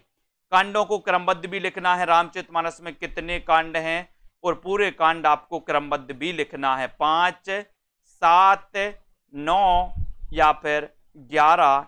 रामचरितमानस में कितने कांड हैं? दो सौ अठावन का उत्तर बताना है। इन कांडों को आपको बताना है। जल्दी से बताओ, बी नंबर आपका सही है कि सात कांड हैं। लेकिन सात कांड कौन कौन से हैं? ये आपको क्रमबद्ध लिखना है। और रामचरितमानस के कांडों का सही अनुक्रम भी बताना है। बताइए, नीचे दिया है दो सौ उनसठ में। क्रम बताइए, कौन सा क्रम सही है? बताएँ। कौन सा क्रम सही हो जाएगा? तो यहाँ पर आपको दिख रहा होगा कि सर बाल अयोध्या अरंड किसकंदा सुंदरकांड। है ना? तो यहाँ पर आपका सही उत्तर क्या हो जाएगा? सी नंबर। सी नंबर आपका बिल्कुल सही है। सीता जी की वंदना करते हुए उनको कन्या माँ और प्रिया के रूप में किसने स्मरण किया है? बताइए, प्रश्न क्रमांक 260 260 का उत्तर माँ और प्रिया के रूप में किसने स्मरण किया है? वाल्मीकि मैत्री गुप्त, तुलसीदास या फिर इनमें से कोई नहीं? तो बिल्कुल सही आंसर आप लोग जा रहे हैं। और सीता जी की वंदना करते उनको कन्या माँ और प्रिया रूप में किसने स्मरण किया? 260 का आंसर, और आपने बिल्कुल सही बताया है, तुलसीदास। यानी बी नंबर आपका बिल्कुल सही है। वेरी गुड सभी साथियों के लिए बहुत बहुत धन्यवाद। सभी साथी, ये हिंदी साहित्य के ऐप की लिंक नीचे दी है तो ऐप को डाउनलोड कर सकते हैं, ठीक है? और साथ ही सेल्फ स्टडी क्लासेस, दोस्तों, इस ऐप से जुड़ सकते हैं। Self study classes app download कर सकते हैं, जहाँ पर आपको मॉडल पेपर और दोस्तों पीडीएफ जिनको भी लेना है तो पीडीएफ नौ सौ निन्यानवे की निचोड़ क्लास की पीडीएफ है, ठीक है? और दोस्तों, ये हिंदी साहित्य का क्रैश कोर्स लॉन्च किया गया जूनियर सुपर टेट के लिए, यानी कि लास्ट के दस दिनों में आपको क्या पढ़ना है, ये जूनियर सुपर टेट में आप पढ़ सकते हैं। साथ ही दोस्तों जूनियर सुपर टेट का एक 20 मॉडल पेपर लॉन्च किए गए। ये 20 मॉडल पेपर सौ नंबर हिंदी के हैं दोस्तों। सौ नंबर हिंदी की प्रैक्टिस आपको करना है, जिसमें हिंदी साहित्य प्लस व्याकरण रहेगा। ये जूनियर एडिट सुपर टेट के लिए आप पढ़ सकते हो। ठीक है? और एक हिंदी साहित्य का डेली टेस्ट सीरीज़ चल रहा है दोस्तों। अगर आप चाहते कि हमें डेली टेस्ट लगाना है हिंदी साहित्य का तो डेली टेस्ट सीरीज़ चल रही है। एक वर्ष तक रोज सुबह आठ बजे ये टेस्ट दोस्तों आपके ऐप पर पहुँच जाता है। तो इस ऐप से आप लोग जुड़ सकते हैं, पढ़ सकते हैं, है ना? ये कोर्स मात्र चार सौ निन्यानवे का है दोस्तों। तीन सौ पैंसठ दिन रोज एक डेली टेस्ट आपको मिलेगा। आप टेस्ट कर सकते हैं अनलिमिटेड बार उसको अटेंड भी कर सकते हैं। ठीक है, अजय शर्मा जी, सुषमा जी, अमिता जी, शांति जी लवली, आसू जी, रोली सिंह जी, विद्या जी, सभी साथियों को उदय जी रातिका प्रमोद जी, रेखा त्रिपाठी जी, अमन जी, रितिका जी, सभी साथियों को धन्यवाद। लाइक करते रहें, अपने मित्रों को शेयर करते रहें और ऐप को ज़रूर डाउनलोड कर लें, ठीक है? ऐप को डाउनलोड कर लें। जहाँ पर दोस्तों एक फ्री टेस्ट सीरीज़ भी होती है आपको, किस किस दिन? रविवार और गुरुवार को होती है, बिल्कुल। तो सप्ताह में दो दिन ये फ्री टेस्ट सीरीज़ होती है ट्वेंटी ट्वेंटी टेस्ट सीरीज़ तो ट्वेंटी ट्वेंटी टेस्ट सीरीज़ से भी आप लोग जुड़ सकते हैं, ठीक है? तो सभी साथियों के लिए धन्यवाद। वीडियो को लाइक, शेयर करें। जय हिंद।